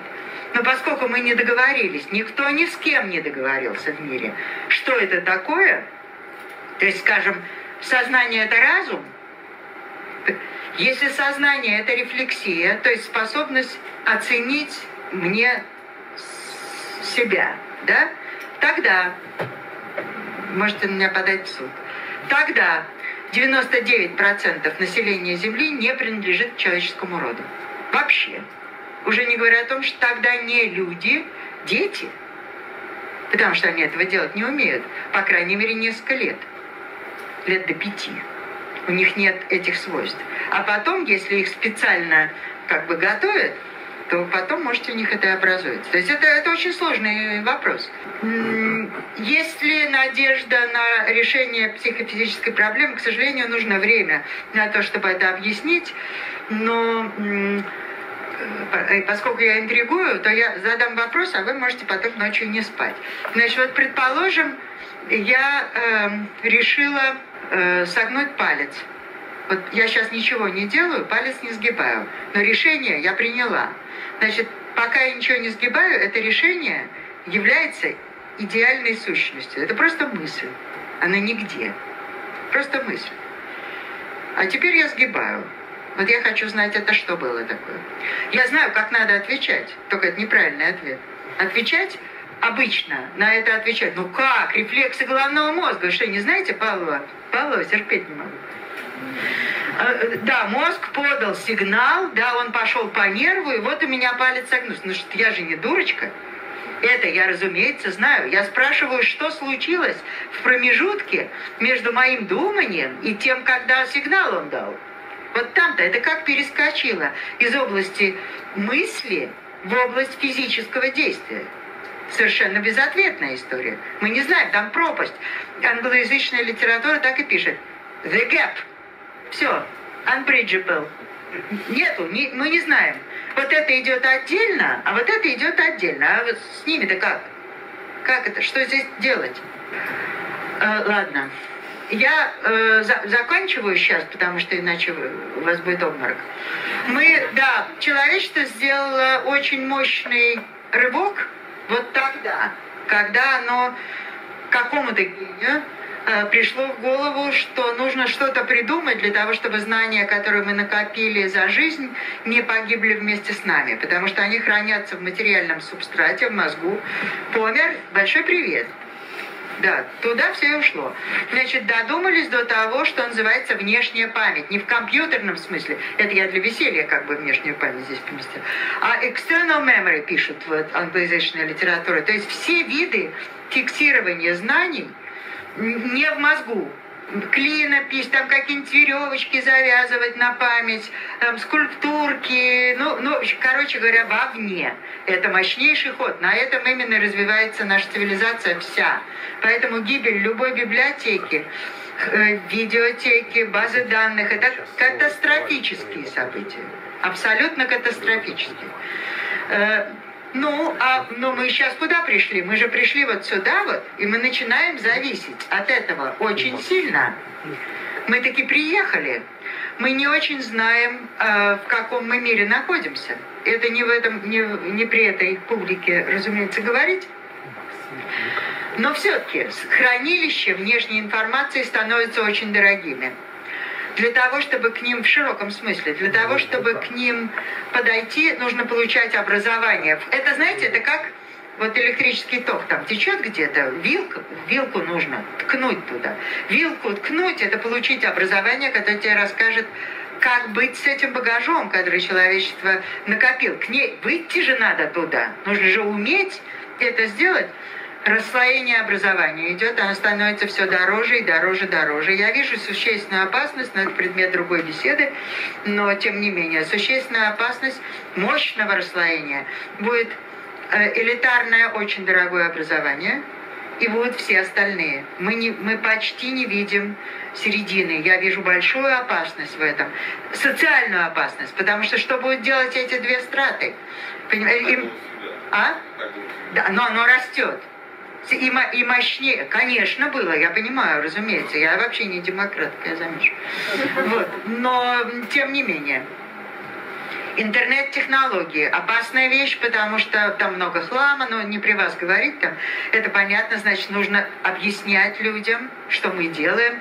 Вот на эти сайты. Если вы хотите получить информацию по такой-то тематике, вот сайты, на которые вы должны войти. А вот сайт Википедии, на который вы не пойдете. Я, я пойду в Википедию, если я забыла, как соус приготовить. И то это, если я уж большая лентейка. Потому что это э, нет надежды на информацию. Дальше. А если будут эти электронные мозги, то как у них будет такая вещь, как смерть, боль. Вот мы говорим, мы как бы все переведем на силикон, да, помер дедушка, и все. А как там вот это вот, если левая пятка чешется. Или смерть, которая играет огромную роль в нашей цивилизации. Если смерть исчезает, то вообще все. Но это предмет других разговоров. Поколение Google уже есть. Оно, э, это, это термин. Так называемый плоский мозг. Об этом я недавно участвовала в дискуссии международной. Страшная вещь. Э, вот книжка известная, очень это бестселлер, э, бестселлер Николас Кар выпустил э, недавно. И вы видите, что он пишет? Раньше, сам про себя. Раньше я был искусный ныряльщик, он пишет. Я, ну, в океан знаний как бы. Я нырял глубоко, долго и медленно там плавал и наблюдал за разными объектами. Теперь я серфингист. Я с огромной скоростью ношусь и мне даже в голову не приходит туда нырнуть. Я вот это вот тонкий-тонкий-тонкий слой снимаю. Это серьезная история. Э, об этом сейчас пишут все больше и больше. Это реальные данные о том, что э, пристрастие к интернету, вот которое у молодежи мы сейчас наблюдаем, что оно делает с мозгами. Это настоящая зависимость. Эти, если анализировать эти э, картинки, видите, вот аномалии белого вещества в определенных местах, это addictions – addictions – это тоже, что наркотики и эм, алкоголь. Это, это относится к медицине. Это называется э, illness. Это illness. Это не разговоры э, в светском э, в гостиной. Это разговоры с врачом. Эм, интернет дает э, нарушение памяти – и это измеряется, вот так выглядят научные-то картинки, выглядят так. Вот если было время вчитаться в них, то мы знаем, что происходит в мозгу э, у этих людей. И э, так называемые, то есть люди, которые родились в этом тысячелетии, у них нарушение, они Э, у них память гораздо хуже, чем у их бабушек и дедушек, потому что не с чем запоминать. Что запоминать-то, когда пальцем ткнул, окей, Google, и он тебе все, что хочешь, выдал. То есть они ничего не помнят. У них нет long-term memories, то есть долгосрочной памяти. Очень маленький кусочек он помнит. Незачем помнить. У них настоящие нарушения идут. Это по линии патологии, как следует. Кроме того, они постоянно скачут с места на место. Они не могут удержать, у них нарушение внимания. Они не могут удержать внимание ни на какой цели. Он все время, поскольку это еще гипертексты, да, ткнул в это слово, оно тебя потащило, там еще ткнуло, оно тебя потащило. То есть нет линейного чтения, и нет способности удерживать информацию и свою концентрацию внимания на, что бы, на чем бы то ни было. Это ведет к медицинским нарушениям. Я сама в компьютере провожу бесконечное количество времени. Вы не сочтите меня за ретрограда. Я просто говорю об опасностях, которые на самом деле есть. Но я э, почти вот, пожалуйста, 16 век, когда книгопечатание только возникло, сразу стали говорить, все, нам крышка. Потому что, да, да, ничего хорошего не будет. Во-первых, сакральные знания должны быть у посвященных, а остальным нечего и знать. И во-вторых, что э, книгопечатание, они так не говорили, но мы-то сейчас бы сказали, э, это влияет на мозг, интернет влияет на мозг. Вот я сама себя сейчас как бы остановлю немножко. На мозг влияет все. Вот вы сейчас выпили сок, и это повлияло на мозг. Э, я вот на эту штуку посмотрела, оно уже повлияло на мозг. На мозг влияет вообще все, что происходит. Температура воздуха, все, что вы увидели, все, что вы услышали, все, что вы съели. Заваривали чай, все. Все влияет, поэтому э, бесноваться по поводу того, что наступающие цивилизации все порушат, как бы не стоит, но иметь в виду, что это не нейтрально, как и все. Это да, мозг не помойка. Мы не, это не урна, мы не можем туда закидывать все, все, что попадет. Поэтому нельзя, извините за назидательный тон, не, ну, вы же не ходите есть, что попало, правильно? А чего, а чего не ходите-то? Ходили бы. Правильно, мы же идем к хорошему шеф-повару или покупаем хорошие продукты, готовим дома, идем в хороший ресторан. Мы же не идем покупать шаверму на улице, который неизвестно из какого друга сделал этот самый автор. С мозгом еще хуже, потому что если вы что-то не то съели, то есть способы как бы с этим справиться. А с мозгом что будете делать? Туда что попало, то пропало, там все лежит. Оно потом вылезет. Оно не, оно не решето мозг, оттуда не высыпается ничего. Вы можете сказать, да, я забыл. На время на время. Я не беру ситуации Альцгеймера или болезней. Болезни – это другая история. Мы сегодня про них не говорим. Но в ситуации не болезни мозг помнит все. В том числе то, о чем вы не подозреваете, что вытаскивают из вас эти самые гипнотизеры там всякие, или, упаси Господь, фрейдисты эти, аналитики эти придурки. Они, они вытаскивают вообще, как вы родились, там бог знает что. Мы, мы помним массу разных вещей, об этом огромная литература в мире есть. Это не болтовня. Поэтому нельзя слушать плохую музыку, не нужно общаться с плохими людьми, не нужно читать плохие книги и так далее. Не нужно нюхать плохие духи, пить плохое вино и все так далее. Себя-то пожалеть надо, что? Но это последний мой слайд. Я хочу сказать, что э, все, что я так это ругаю и опасаюсь, это да, присутствует, но никто никогда науку не остановил. Ее остановить нельзя. Нет способов. Мы можем запретить все, что угодно. Всегда найдется миллиардер, который купит остров посреди океана, наймет лучших ученых, которые ради интересу туда поедут, и они вам планируют, кого хотите. Можете не сомневаться. И, и из эмбрионов создадут э, путем генетических модификаций, и они фантастический фильм рассказывают. Я просто говорю, что это на самом деле возможно создадут вам каких хочешь людей, будут э, барышни, один глаз будет лазоревый, а другой будет как раз коричневатый такой, а вот, и ноги будут от ушей, у нее будет IQ 286, и вот такая талия, и она будет бесстрашна, и она будет петь ангельским голосом, ну и так далее. Это возможно, это возможно. Запретить это нельзя. Любые ООН, и ЮНЕСКО, или кто хочет, они могут заседать сколько угодно. Это не поможет. Поэтому спасение наше только в нас самих. У нас должно быть внутреннее чувство, как Эммануил Кант писал, на звездное небо над головой смотреть и ориентироваться на внутренний закон внутри нас. Мы только сами себе можем запретить это делать. Нет внешней силы, которая может это остановить. Если мы самоубийцы, а похоже, ну что, ничего не поделаешь. Решил выбрасываться из окна, выбрасывайся поскорее. Как бы. Вот, так что э, лучший философ Земли, на мой взгляд, Иммануил Кант, который самые главные вещи говорил. Если бы у меня одну фразу все-таки скажу из него же.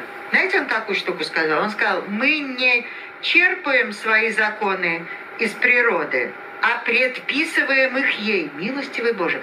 Знаете, что это значит? Это значит, что не в, не в природе такие законы, а у нас мозг так работает, который такие законы вынимает. Это мы так сделали. Понимаете, насколько мы зависим от этого? И почему важно знать, как наш мозг работает? Знать, например, что он может работать и так, и так, и так. И вносить поправку. Я студентов, когда хочу попугать, я им говорю, эм, какие у меня есть основания считать, что вы здесь все есть. Может, у меня галлюцинации. Они говорят, потому что мы это все видим, но это же анекдот. Вы, видящие это, являетесь частью моей галлюцинации. Они говорят, мы сейчас подойдем, вас щепнем. Я говорю, на здоровье. Это все внутри моей галлюцинации. То есть как можно доказать, что то, что я вижу, не является галлюцинацией? Отвечаю, никак. Если мы будем мозг э, э, э, у человека с галлюцинациями фиксировать, то нам томограф покажет, что он действительно слышит голоса, которых нет. Почему? Потому что у него неправильно работает нейронная сеть. Она крутит то, что в ухо не пришло. Она сама создает. Этих я, а, я в дурдоме лучшие годы жизни привела по, по молодости, да. И белогорячники были моей особой любовью. Значит, вот они мне рассказывали много интересного. По столу, говорит, ходит восемь чертей. Говорит, какая вот интересная вещь. Я, к сожалению, не вижу. Вы мне можете их описать?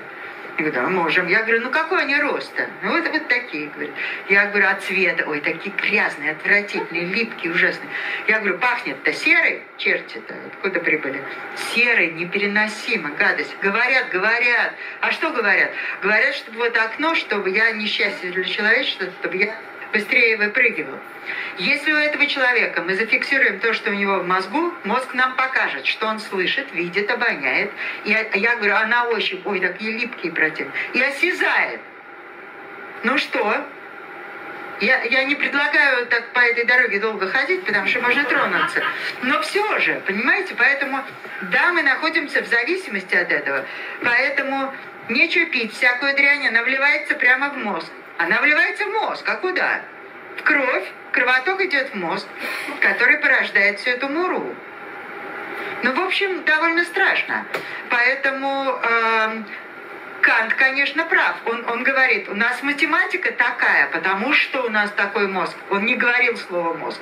Тогда этого не было. Но потому что мы такие.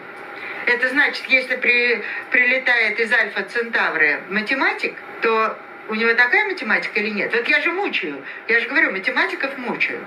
Вот э, Людвиг Фадеев, ну, знаменитый математик, я недавно к нему очередной раз, он к тому же и музыкант, очередной раз пристала, и он говорит, нет, математика это человеческое, человеческое. То есть у таких, у кого такие мозги, такая математика.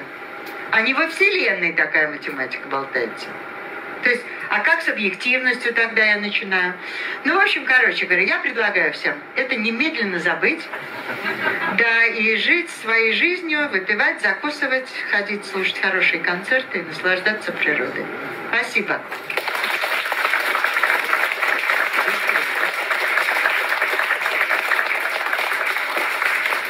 Готова к вопросам? Да. О, я иду к вам, Татьяна Владимировна. Да. Я, во-первых, предлагаю вам все-таки присесть, потому что стоять так долго как тяжело. Ну, а дело наживное, да, ничего. Ну, то есть, если вам лучше, чтобы я сидела, я могу сидеть. А так я привыкла. Я просто не смогу сесть, если вы стоите. А, поняла. Это шантаж называется. Ну, в какой-то степени. Ну, что я говорил, дамы и господа, я думаю, что я, я всем дам... Вот оно а, либо идет, либо не идет. Вот. Такая беда.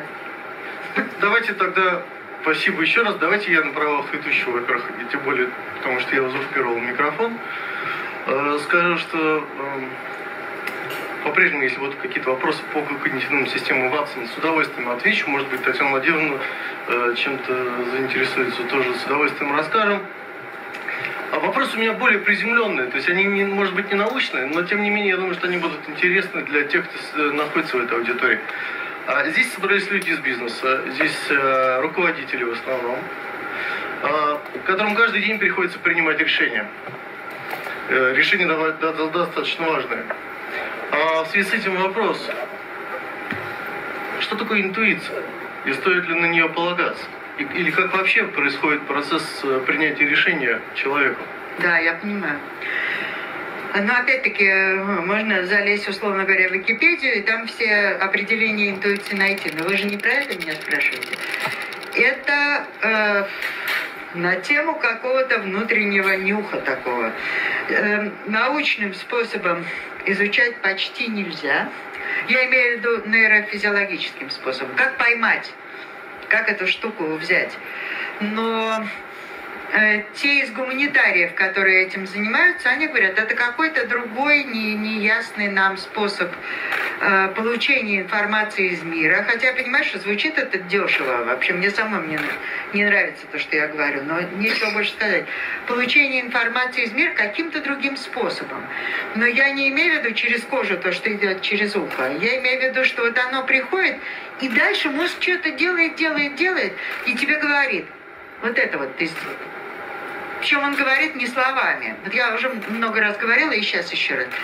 Если мне какой-то внутренний голос, не в психиатрическом смысле, а в бытовом, говорит, ты вечером-то не ходи в эти гости.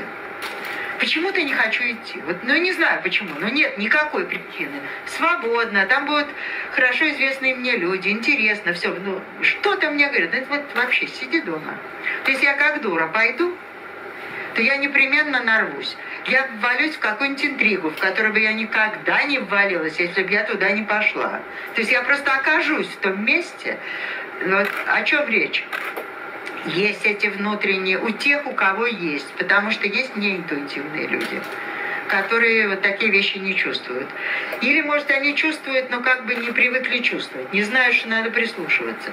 Но те, которые знают, я этому доверяю больше, чем рассудку сама у себя. Хотя я считать умею, выводы делать умею, но это сильнее. Если чувство говорит, делай так, делать так, даже если это противоречит э, рациональным вещам. Вот мой, мой э, э друг, и вот я говорила, там директор института мозга, ему сейчас нужно там заместителя себе нового взять.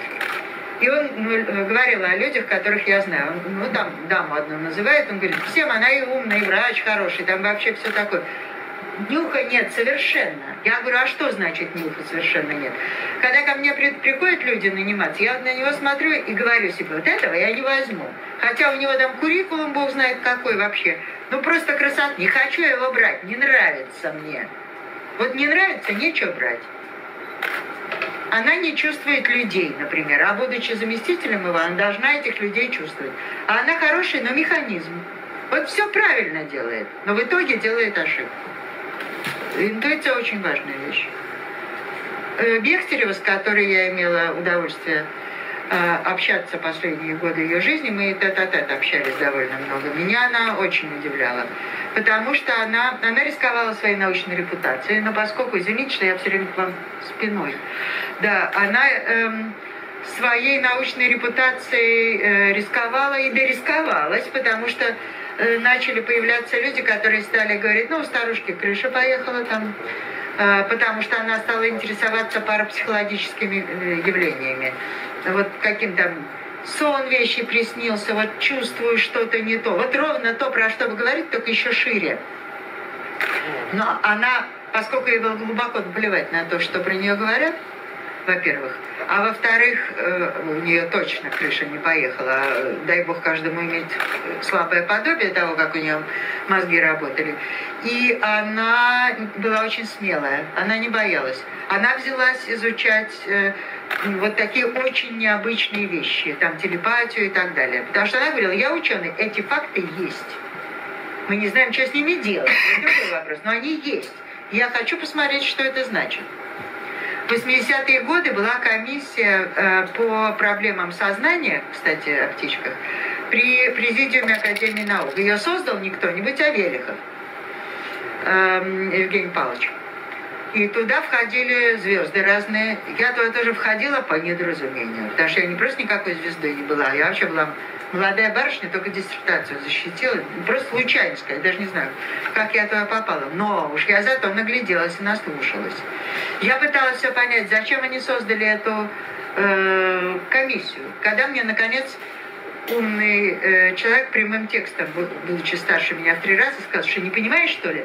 Они хотят манипулировать сознанием, они хотят знать, как действовать на сознание. Поэтому не боялись и стали изучать телепатические вещи, факты, телекинеза. То есть вот рассказывали мне, даже страшно говорить, значит, комиссии эти были составлены из очень интересных интересный набор.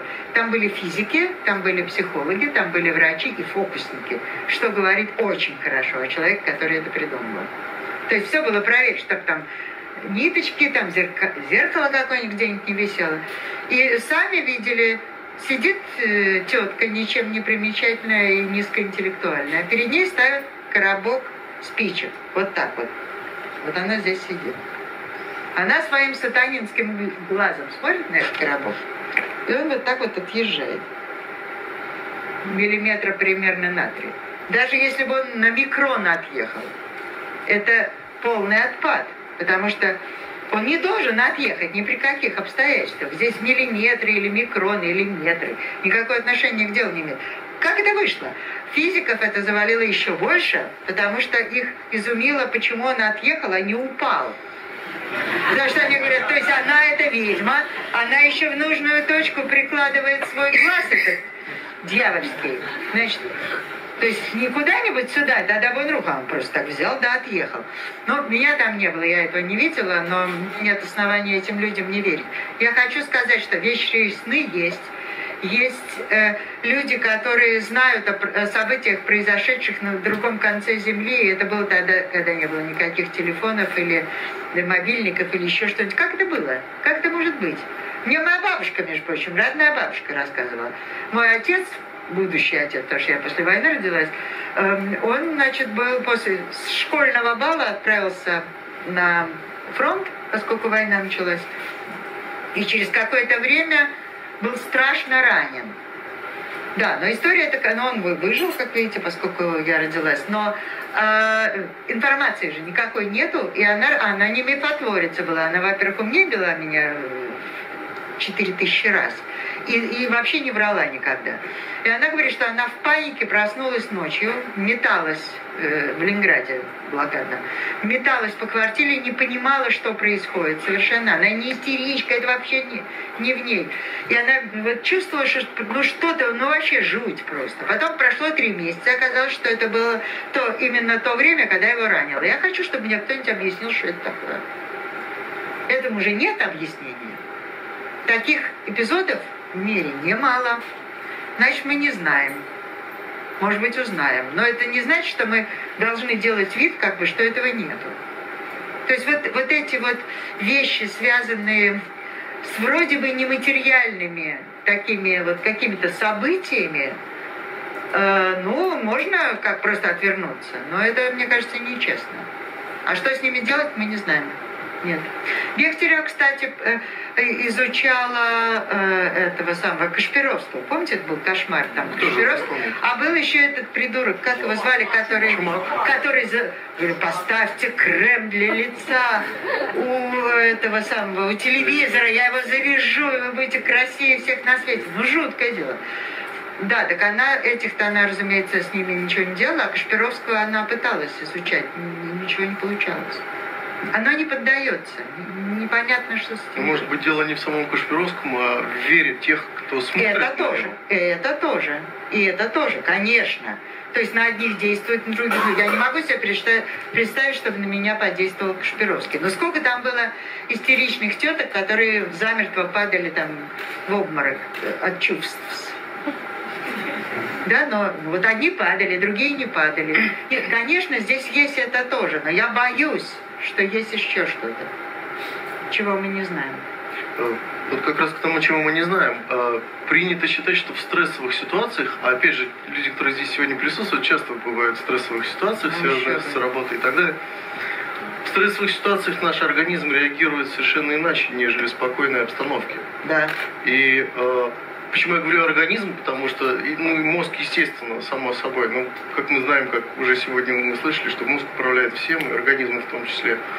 Я просто помню вот из детства ситуацию, что когда я пошел гулять как-то в лес, был пригорок, и, я на, и, а перед пригорком было болото, Я когда зашел на пригорок, я видел, что на меня несется стадо коров, где одну, видимо, укусил там э, овод какой-то, еще что-то. И вот они все сбесились и побежали на меня. я, естественно, побежал от них. Так вот, то болото, которое я преодолевал несколько минут, прыгая с кочки на кочку, и оно было достаточно большое, в общем, я себя нашел уже на другом конце болота потом. Я замочил только одну ногу. Вторая была абсолютно сухая, единственное, что я туфель потерял. То есть я бы никогда в жизни это болото не перепрыгнул в два прыжка, если бы не оказался в этой ситуации. В такой. Да. Вот а, насколько это действительно а, серьезно, то есть действительно наш мозг в стрессовых ситуациях совершенно по-другому, то есть использует какие-то дополнительные ресурсы, да, которые есть. это так. Это так, но мы про это очень мало. Мы, мы, наши знания находятся на уровне фиксации фактов максимум. В том смысле, что таких фактов много. Известно, как, э, я не знаю, там ребенок оказывается э, под машиной, например, и мать э, представить себе невозможно. Она поднимает машину и вынимает оттуда ребенка. Это вообще, ну просто или там в вагоне идет, и, и, и не болит у нее ничего, и она идет, и, и все делает, только потом до нее доходит, что произошло. А стресс полезен? Да, стресс полезен, это вообще отдельная очень интересная тема. Стресс полезен в дозах определенных. Я имею в виду, если слишком большой стресс, это может завалить всех, весь организм, э, как бы систему разрушить, болеть. А, а небольшие дозы стресса полезны.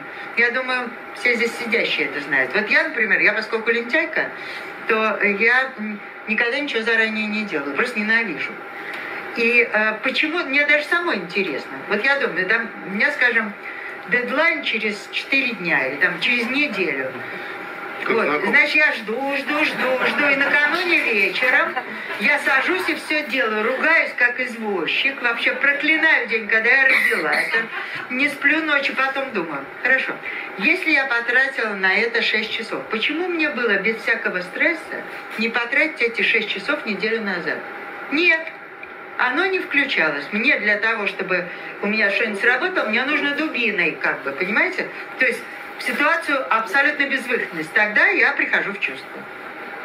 Да, это так. Это серьезное дело.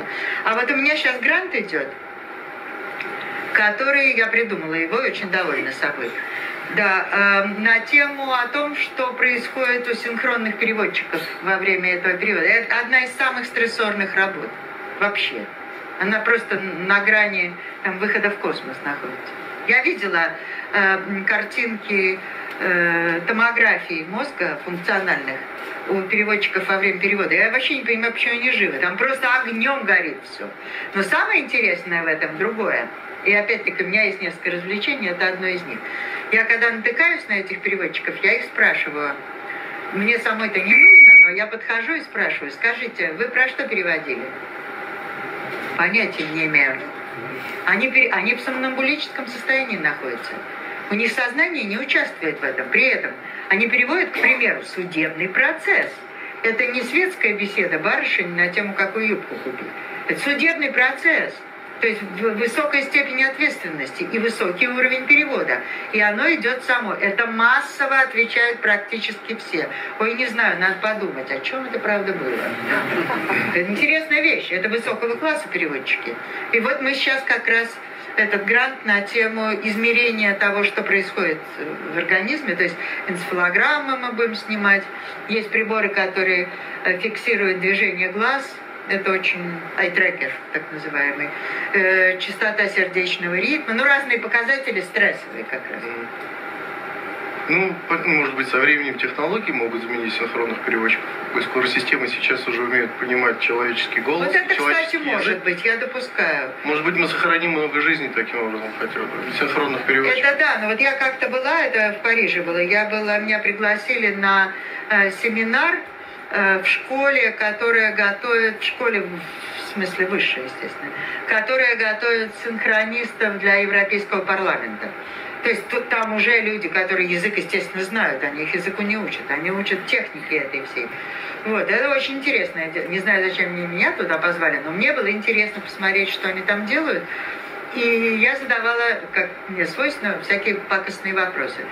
Ну, например, э, если вы переводите дурака и пошляка, дурак и пошляк рассказывает э, безвкусные, безобразные анекдоты, идиотски шутит и вообще плетет всякую муру. Что должен делать переводчик? Он должен его улучшать или он должен... Да, и ответ был, вы правильно, глава да, ответ был такой, переводчик прозрачен. Поэтому один из тестов, который... То есть он не тест в прямом смысле, но одно из свойств, которые должны пройти те, кого они отбирают на эти курсы, так сказать. Потому что у них есть там примерочное время. Они пару недель, они за ними наблюдают. И потом говорят, вас, вас, вас, вас выберем, остальные свободны. При том, что язык-то все знают, это не про язык. И, и оказывается, он должен не быть звездой, ни в коем случае. Он должен быть прозрачен. Они мне тогда, скромность украшает девушку, они мне сказали, вы не подойдете. Да. Нет, в смысле, я сразу говорю, давайте я это сделаю, я-то лучше сделаю, чего вы там э, вот, вот этого не надо. Он должен, его нету. В этом смысле Э, эти устройства, вероятно, подойдут. В ситуации, когда нет какой-нибудь тонкой политической игры. Я думаю, что эти штуки не будут действовать для дипломатов, для глав государств, то есть для слово очень такую особую роль играет. То есть это не, не формальный перевод, а это вот эти тонкие штучки. Это, конечно, компьютер, никакой Ватсон этого сделать не сможет. Это нужны контексты совершенно другие, которые не вложить просто в компьютер. Э, это абсолютно тонкая материя, я полностью согласен с этим. А если говорить про Ватсон, то, пожалуй, единственным примером в данном пока случае может быть то, что он э, понимает нюансы человеческой речи. Как, как, какие нюансы? Ну, например, во-первых, он понимает вопрос, ему говорят, или это просто предложение утверждения. А, это, да, это очень да, важный да, момент. Да. Если это вопрос, то, соответственно, он должен разложить это предложение на части речи, чтобы понимать, что главное и о чем Не только на вопрос. части Это очень да. трудно. Вот это то, про что я только начала говорить. Это очень сложная процедура, потому что там одновременно действует много слоев правил. Есть слои, которые отвечают за фонологию, то есть за звуки, понимаете, пел, пил, это микро-микро на спектре. Вот если будем спектр акустический смотреть, это микроизменения. Но оно глобальное изменение, потому что э, слово меняет смысл. То есть там есть такие-то звуки не могут идти после таких-то. В этом языке этот звук произносится так. А если он будет так произнесен, то это акцент. И тогда я уже знаю, что вы не здешний. А этот язык выучен там и так далее. То есть там есть звуковые законы, есть законы морфологии, то есть как слово построено. Возможен ли такой-то суффикс у существительного или у глагола? Это не для школьников работа, это очень сложная э, лингвистические законы. Детей не учат таким вещам. Это в университетах на элитных отделениях такое проходит. Уж я не говорю про смыслы. Смысл это вообще. Есть такая область науки, которая носит название формальная семантика. Это вообще сплошная математика. Это страшная вещь. Это там не то, что написано кошка, это животное, там такое-то. Нет. Это концепты разные, как они друг с другом связаны, в каких отношениях, в каких стратах языковых, что кто знает, какой слой, как говорит. Есть речевые жанры. Этот человек говорит как проповедник, он говорит как профессор, он говорит как продавец пива на улице. То есть там много очень лежит всего. Это одна из самых сложных систем языковая. Ну, да, и, кстати говоря, пример, который мне вспомнился, если мы говорим о смыслах вообще, пример, который мы любим проводить.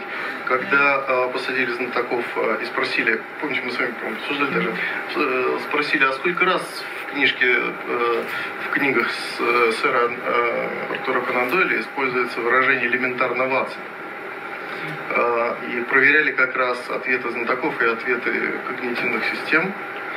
И э, как бы сделал обычный компьютер, он бы тупо просто пробежался по всему тексту и посчитал, сколько раз встречается вот это вот выражение. Знатоки, естественно, подняли этот вопрос, потому что они прекрасно понимали, что здесь есть какой-то подвох. А на самом деле ни разу не встречается выражение элементарный Ватсон в книжках про Шерлока Холмса. То же самое сделал э, Ватсон.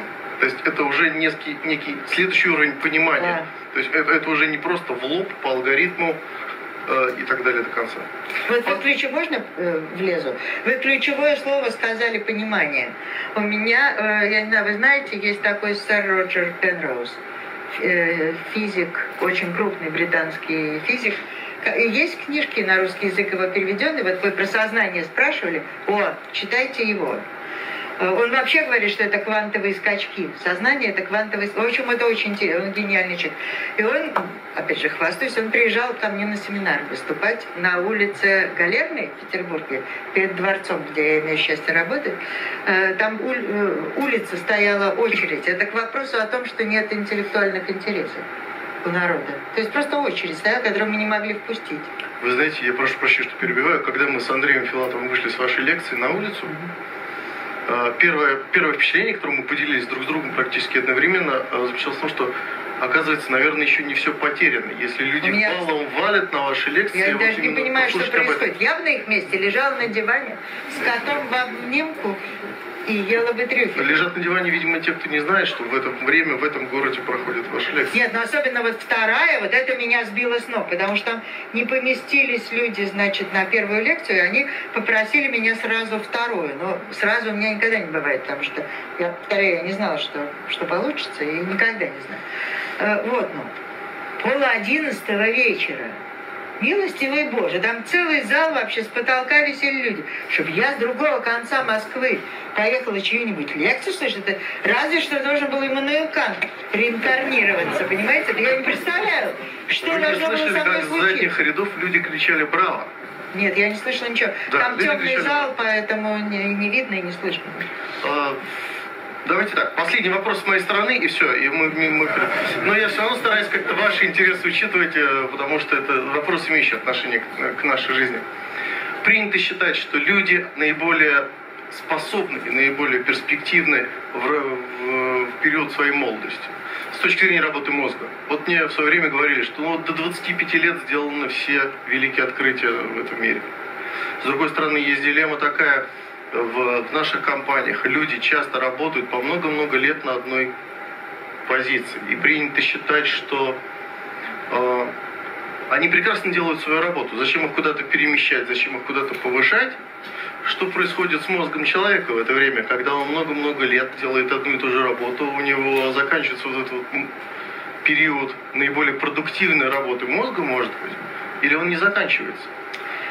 Что э, происходит? Я, я отвечу. Имеет ли смысл часто перемещать людей? Да, имеет. Имеет. Хуч, э, вот давайте я это с другого конца. Значит, есть одна вещь, которую мозг точно не умеет делать. Он не умеет не учиться. Он просто так создан. Вот этого он не может не делать. Просто он это тот, кто учится все время. Поэтому, если вы его помещаете в ситуацию, когда уже все известно, ему это все осточертело до последней степени, вот там он и завянет. Я имею в виду, что у него должны просто, ну, в медицинском смысле, когда идут нарушения типа Альцгеймера, знаете, Паркинсон, это носит название нейродегенеративные заболевания. Это значит, что погибает мозговая ткань.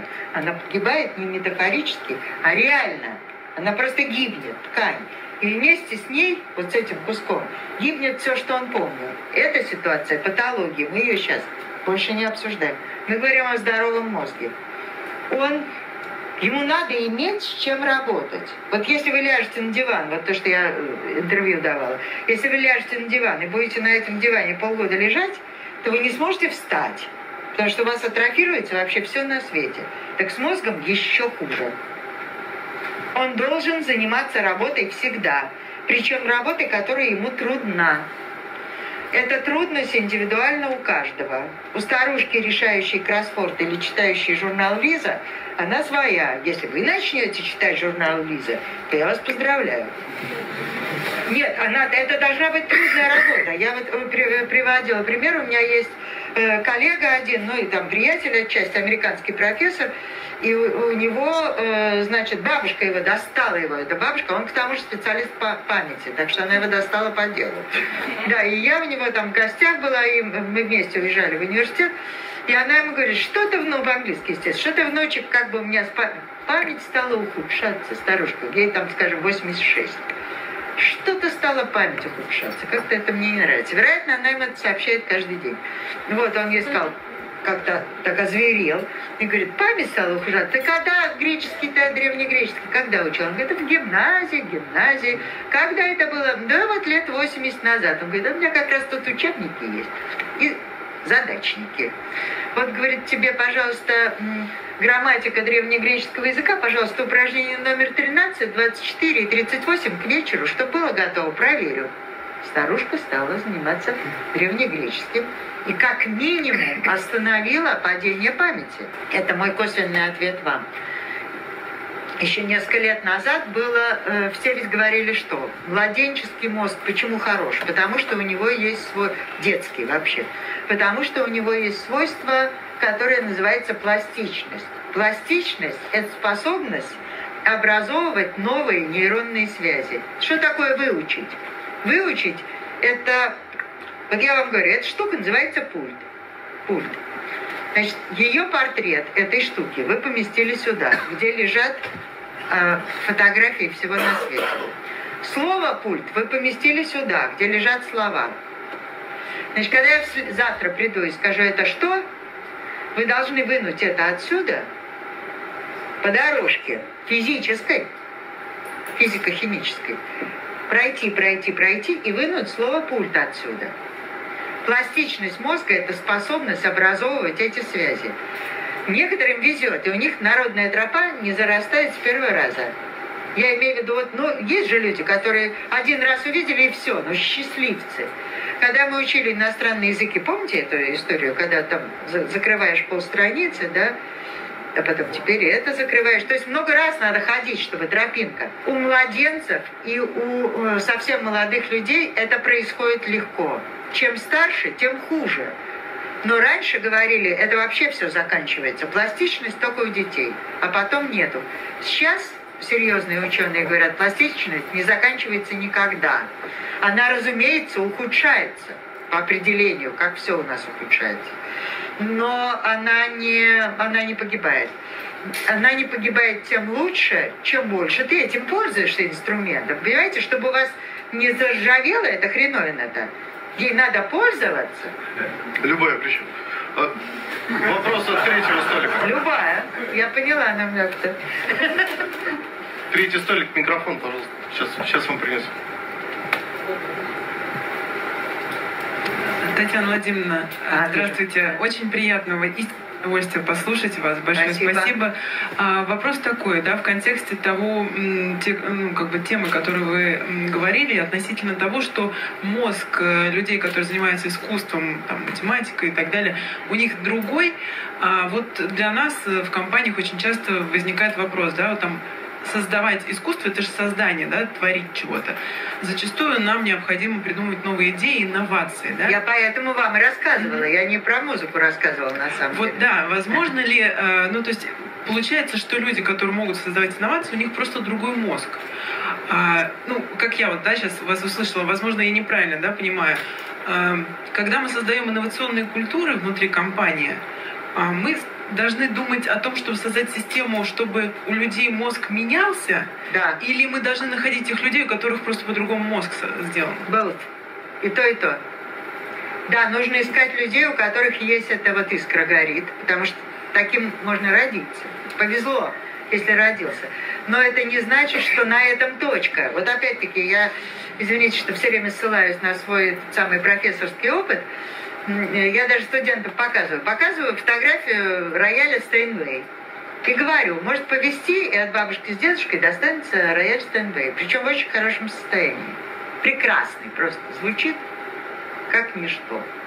К сожалению, этого недостаточно. На нем нужно учиться играть. Вот в чем беда.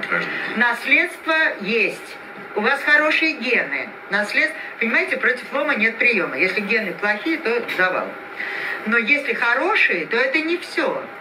Даже когда мы говорим про гения, гений, он родился гением, но после этого идет страшная работа. Другой вопрос, что для него эта работа, это его естественная жизнь. Он иначе не может жить. Поэтому это для него не наказание. Но опять-таки, как я сегодня кому-то давала интервью, Моцарт так стулу привязывали, чтобы играл. Он Моцарт, он абсолютный гений, несравнимый ни с чем. То есть есть это, здесь смесь И она э, такая вот, она прихотливая. Конечно, надо искать этих людей, разумеется. И это люди, почему важно, чтобы люди э, ходили в музеи, слушали музыку, ходили в театры, потому что это, вот это все и устраивает. Дайте я вам расскажу случай, который со мной был на днях. Это э, имеет отношение к тому, что вы говорите. А, я э, пошла в Мариинский театр в Петербург, я же петербургский житель, пошла в Мариинский театр и ждала минуты четыре или, может быть, пять, ждала э, там человека, который, ну, меня был билет лишний, и я ждала его у входа. Вдруг ко мне подходит пара, ну, более-менее молодая пара, и, и говорит, ой, какое счастье, мы так мечтали, думали, вот как раз друг другу говорили, вот, может, вас встретить бы где-нибудь. Я думаю, ну, как, поскольку ко мне сумасшедшие кидают на каждом шагу, ну, я там вежливо улыбаюсь, головой киваю, да сама даже не слушаю. Вот, и э, мужчина из этой, значит, этой, он говорит, я пианист, э, можно я вас э, приглашу на концерт, я буду выступать в капелле. Э, вот я говорю, ну спасибо большое, если я смогу, там приду, потом думаю, боже, сколько этих пианистов, на какой черт, ну ладно. Посмотрела, на, он прислал мне действительно, ну, что билеты оставлены, я посмотрела на сайте, вижу, написано там э, э, эм, э, э, музыкальный олимп, мюзикал, э, ну, в общем, музыкальный олимп. То есть фестиваль идет, в котором играют только лауреаты международных конкурсов. Значит, во-первых, сам факт, что на улице подошел лауреат международных конкурсов. Ну хорошо, все равно, думаю, пойду. Чего? Почему не пойти? Прекрасный зал, послушаю. Он когда вышел, он стал играть, он, он не просто хороший пианист, он просто, он гений. Он гений. Так, это просто что-то немыслимое. Я смотрела, поскольку я училась музыке, ну никакой я не музыкант, э, подлые родители учили всему. И я знаю, что надо на руки смотреть. Вот я смотрела, вот я вам точно говорю, у него звук из пальцев шел. Он шел не из рояля, он попадал в рояль. Вот у него я просто видела, вот, вот клянусь, просто видела, что у него этот звук вытекает туда. Думаю, господи, что он делает? Это вообще так не может быть. Потом он говорит, э, э, то есть не потом, а перед этим говорит, может, у вас будет время потом поговорить. Ну, когда я это послушал, думаю, конечно, мне надо с ним поговорить. Ну, кофе попили, он мне такие вещи рассказывал. Вот, например, он когда выходит на сцену, и, а, да, забегая вперед, хочу сказать, потом я по него посмотрела, мне, разумеется, диски подарил. Он участвовал в 50 с лишним международных конкурсах, из них 40 первых премий. На улице встречаешь такое. 40 первых премий. Нет. В Питере лауреаты международных конкурсов часть. Питер, Питере Пить, если помните, да. да. Блестящая, кстати, вещь. Абсолютно. Вот это шедевр. Ну, так, э, короче говоря, он интересные вещи стал говорить. А потом он мне даже написал кое-что, и, э, в общем, я на это внимание обратила. Он говорит, что время для него представляет собой желе. Э, оно может сжиматься, может растягиваться, и иногда оно ему поддается. Например, он говорит, когда я играю с оркестром, иногда дирижер мне показывает, что я играю слишком быстро. Но я играю слишком медленно мое время внутреннее, оно замедлено по отношению к оркестру. Вот, это не все. Он говорит, когда я выхожу на сцену и иду к роялю, э, у меня должно проиграться, должна проиграться вся та пьеса, которую я буду играть, за 7 секунд. Меня вообще крышу снесло, думаю, какие 7 секунд? Ну, концерт э, э, фортепиано Почему 7 секунд? Что такое? Я говорю, а бывает, что оно у вас не про... Он говорит, со всеми подробностями. Сжимается время, оно должно проиграться, пока он идет. Представляете, вот отсюда сюда, всего-то. Я говорю, и всегда проигрывать? Нет, говорит, не всегда. Если не проигрывать, тогда я неудачно играю. Ну, думаю, все, вообще надо уходить отсюда. Это просто что-то невероятное. Ну, я уже заодно спросила, а у вас цвет есть у музыки? Потому что очень у многих музыкантов синестезия. Они это цвет видят в звуке. Говорит, конечно, как может быть? А более того, еще, еще страшнее, это мне другой э, дирижер рассказывал Петербургской филармонии, очень тоже известный. Он сказал, нота-то, а я думала, я все понимаю, я даже занималась музыкальной акустикой, оказывается, напрасно занималась. Он говорит, нота, это же не точка, это диапазон, то есть ля бемоль, да, да, значит, она отсюда до сюда. У него это раздвинуто. И он слышит, как в оркестре каждый музыкант, он не просто слышит каждого музыканта, он слышит, какую часть из этого диапазона он взял. То есть там нет вранья, что там ноту перепутал, так вопроса нет. Но можно здесь, а можно здесь. И он это слышит. Я говорю, что еще слышите? Он говорит, слышу все, что происходит в зале, каждого музыканта, каждую ноту. Я говорю, а как с цветом? Разумеется, все это с цвете. Ну, думаю, все. Они другие. Эти люди другие. Вот куда нам надо смотреть, понимаете? Поэтому, если мы хотя бы знаем вот то, что мы сегодня обсуждаем, это уже поменяет нашу работу совсем в других местах. Мы, я не про музыкантов, а я про нас всех. Что лучшие из нашего племени, они умеют такое. Мы вот на них как бы должны смотреть, как это у них выходит. У Татьяны Владимировны поезд 23.40. Вы следите? Я не буду следить. Вы следите. А и у всех еще горячая стоит. Поэтому давайте двигаться динамично. Как мы постараемся, да, Татьяна Владимировна, чуть лаконичнее отвечать, чтобы Хорошо, успеть. хорошо. Давайте с, я у меня у меня я не знаю, как сказать, рука не поднимется или рот не откроется. Вот. Микрофон за первый столик туда можно? Огромное спасибо вам. Я, у меня были планы на вечер, но я все отменил. И вот это правильно, так и надо, да. Спасибо да, вам, я шучу, конечно. Вопрос такой. А, есть теория, наверное, такая, ну, слышал несколько раз, много раз, что мозг это приемник, который связан с информационным полем Земли. Угу. Можете прокомментировать, насколько... Так, как ученый, я должна была бы ответить следующее, что все это мура. Я отвечу иначе. Потому что, э, как вот я уже говорила, у науки есть свои законы, правила игры. Исходя из всего, что наука сейчас может, у нас нет никаких данных про это, кроме тех, которые мы уже обсуждали. Как моя бабушка узнала? Понимаете, мы, ни, никто всерьез ничего не может ответить на эту тему. Но я, э, если вы заметили, я начала с другой. Я не отвечаю, что это не так.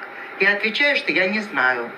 И мы все не знаем, так это или... Может быть, оно так и есть, понимаете? Открыли же эти гравитационные волны. Может, пройдет там еще, знаю, два месяца, они что-нибудь откроют. Какой-то ход есть, который мы не знаем. Это может быть теоретически. Сейчас у нас нет об этом данных. Может быть и так. А я бы как бы предпочла, чтобы так было.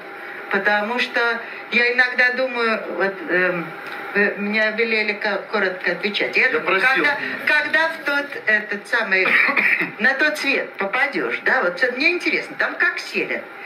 Там по мере пребывания туда, там, вот кто или по соседству, да, или рядом с родственниками. А может, я не хочу этих родственников видеть, они мне здесь, вот тут вот. Я еще вечность должна наблюдать. Или по, в клубе по интересам, да, тогда я ничего против не имею. Скажем, Шопенгауэр, Кант, Аристотель, Платон, там, хорошее дело, можно, в общем, а время провести неплохо. Да. А, следующий стол. Готов ли вопрос у вас? Да, я ну, слушайте, очень, очень приятно. Да, меня зовут Рубен Марданян. А не очень тоже быть приятно. Здесь я хотел бы спросить, правильно я вас понял, а второй задать маленький вопрос. Я армянина, и у нас есть очень интересный праздник святого переводчика. Мы единственная нация, имеющая... Я хочу заметить, что у меня муж армянин. Понятно. И вообще, говорят, маленькая нация. У меня такое количество знакомых армян. Даже не знаю, что делать. Но то, что я услышал, мне кажется, вот э, по, миф про Вавилонскую башню. То есть э, мы, с одной стороны, становимся все ближе и ближе, общаемся и становимся вами взаимосвязанными, как бы развивается. С другой стороны, мы все хуже и хуже друг друга слышим. Айтишники слушают юристов, юристы слушают э, финансистов, благотворительные организации не понимают. То есть правильно я понимаю, что мир идет как раз к тому, что мы перестали друг друга понимать, потому что мы говорим на английском все, у нас становится эсперанто, я писал английским. Правильно я понимаю, что вы говорите, в принципе, движемся к, к мифу о Вавилонской башне, когда люди перестанут друг друга понимать, и это ведет к краху, потому что технологические и мораль, философы не понимают технологов, технологии докторов, и это непонимание усиливается, а не уменьшается. Да, Я ну, правильно услышал? Да, вы правильно услышали. Оно, оно усиливается, и э, параллельно с этим еще идет страшная индивидуализация из-за компьютерной жизни этой. Понимаете, он сидит сам с собой как бы. То есть это миф про то, что он общается со всем миром. Он вроде общается. Это миф. Но это другой тип общения совершенно. И вопрос маленький. А почему только 15, 7 тысяч языков и 15 алфавитов всего? То есть у армян есть алфавит, а, то есть мы, я всегда удивлялся, почему так мало алфавитов и так много языков? Я не знаю, и я думаю, нет ответа. Я, кстати, если хотите, у меня, поскольку друзья в разных сферах есть, то директор Института языкознания, мы приятель близкий, академик Казанский. Я его могу спросить, хоть сейчас. Нет, ну, на самом деле я не знаю, так вышло. Или и все ли мы знаем? И кроме того, не все языки алфавитны. Вот э, не обязательно же алфавит это особое дело. Все 15-17 систем, которые знаками, неважно какими. Вот так вышло, так вышло. Некого спросить. Что здесь скажешь? Следующий вопрос, пожалуйста. А, добрый вечер, спасибо вам большое. А, меня зовут Василий Грудев, и от нашего стола вы, мы решили задать вам а, вопрос. Сталкивались ли вы с изучением явления такого, как фантомные боли? Это миф, это правда? Это не миф. Я именно, но я все-таки не врач. Я с этим, я сама с этим не работаю, но я, во-первых, вам могу посоветовать, кого читать, тем более, что он переведен на русский язык. И кроме того, в Ютьюбе вы можете найти, знаете, TED эти. Вот в Теде есть его выступление. Его зовут Рама Чандран. Он э, э, индеец, индиец, э, в смысле индийского происхождения, американец, очень известный э, ученый, который работает как раз с этими вещами. Если, опять же, на это нужно много времени. Это связано, в частности, с, с так называемыми зеркальными системами в мозгу, которые... Э, нет времени у нас. Это длинная история. Рамачандран Короче говоря, он, например, э, придумал, как человека избавить от болей в руке, которой нет. Руки нет. Она у него смертельно болит, он не знает, куда деваться. И он придумал, но за этим большая наука стоит, это не трюк. Он придумал, что он ставит перед ним зеркало, и он э, и пациент в это зеркало видит, что у него нет руки. В этом есть вообще некоторый ну, идиотизм, потому что он и так видит, что у него нет руки. Причем здесь зеркало-то? И вот каким-то странным образом это действует. У него эта боль прекращается. Я, я советую, вы просто возьмите. Он, кстати, очень легко, ясно про это рассказывает вот на Теде. Наберите просто. Андрей, у вас за столиком есть вопрос? А, сейчас очень популярно такое направление, и в компаниях везде говорят о том, что очень важно иметь высокий эмоциональный интеллект, э, который должен в купе быть с, с обычным, которым мы сначала привыкли слышать об интеллекте, то, что это должно взаимодействовать, и тогда человек более эффективно принимает решения, правильно действует в бизнесе. Вот что вы можете сказать хотя бы нам в двух словах? Вот, Я могу и, и, и в двух в том числе сказать. Дело в том, что э, худшее, что может быть для обучения, для запоминания, это скука. Вот это, это просто беда. Причем она беда физиологически. Если вы заинтересованы в том, чтобы овладеть какой-то информацией, независимо от того, положительная мотивировка, от, то есть страх это, вознаграждение, влюбился, там, ну, все что угодно, связанное с эмоциями. Это дает выплеск дофамина и всяких разных веществ, которые улучшают процесс запоминания. Понимаете, у вас просто идет именно те вещества начинают играть, с помощью которых запоминание происходит. Так что да, отвечаю да прямо. Если, э, э, я не знаю, барышня влюбилась в китайца, и ей нужно с ним объясниться, то это верный способ, чтобы она этот китайский выучила лучше не только из-за того, что практическая необходимость есть, но и э, потому что, вот я повторяю, химия меняется химия. Есть э, э, книжка, то есть не одна, но одна из них у меня дома лежит, которая называется Language and Amygdala. Амигдала это вот такая штучка в мозгу, которая ведает мотивациями, э, вот как бы этим драйвом что называется. Цел, вот такой том на тему о том, как языки нужно учить, чтобы это было мотивировано эмоционально. Это может быть все что угодно. Я хочу быть number one в любом случае. То есть мне не зачем, но я очень... Э, э, личность у меня такая. Хочу быть первым всегда. Хорошая эмоция. Меня будет страшно наказывать. Хорошо, плохо, но тоже годится. Вот если мухи дохнут, вот это беда. Следующий вопрос, пожалуйста. Вот у меня такой вопрос к вам. А вот каждому человеку свойственно религиозное чувство. Вот что это такое? Да, и немножечко вот вы коснулись внутреннего закона, да, хотелось бы тоже, чтобы вот что это вообще внутренний закон? Это маленький вопрос, если называется. До поезда успеем? Да, нет, мы, мы никогда не успеем, потому что это вот это как раз очень, это, это самые самое глубокое. Вот что это такое, мы не знаем. Меня часто спрашивают, э, как вы относитесь к вере и так далее. Я отвечаю, что э, я православная, я не воцерковленная. Я не буду врать, что я хожу там, в церковь все время. Там на Пасху, там на другой вопрос. Вот. Но э, когда задают вопрос, а как же вот вы ученые, это вам не мешает? Это мне абсолютно не мешает, потому что это не конкуренты. Это не, эти вещи не конкурируют.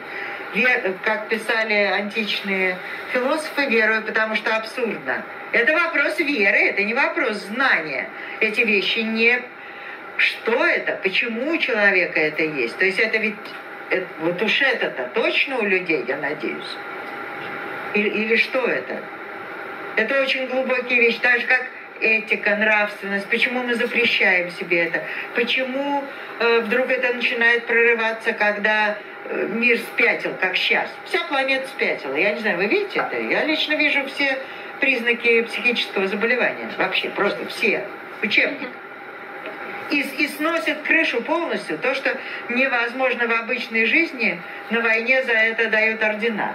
Да? То есть это что вообще, что это делается? Кстати говоря, эта э, история и дальше идет. В природе нет такой жестокости, как есть у людей. Ничего нет. В природе нет морали, она вообще отсутствует. В природе нет нравственности, отсутствует. И в природе нет жестокости. Вы когда-нибудь, вы можете мне назвать пример того, чтобы звери просто так мучили друг друга? Этого просто нет. Это никем не зафиксировано никогда. Съесть друг друга, это плохо, но ну, так устроена жизнь на планете. Это как бы ничего. Но чтобы мучили, издевались, этого же нету. А у людей только дай.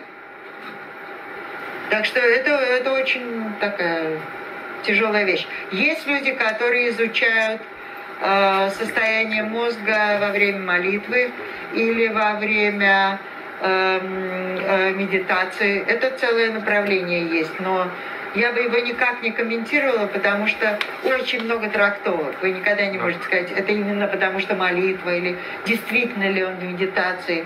Я сама знаю людей, которые, ой, мы сделали исследование по медитации. А кто у вас медитировал, я спрашиваю, интересно.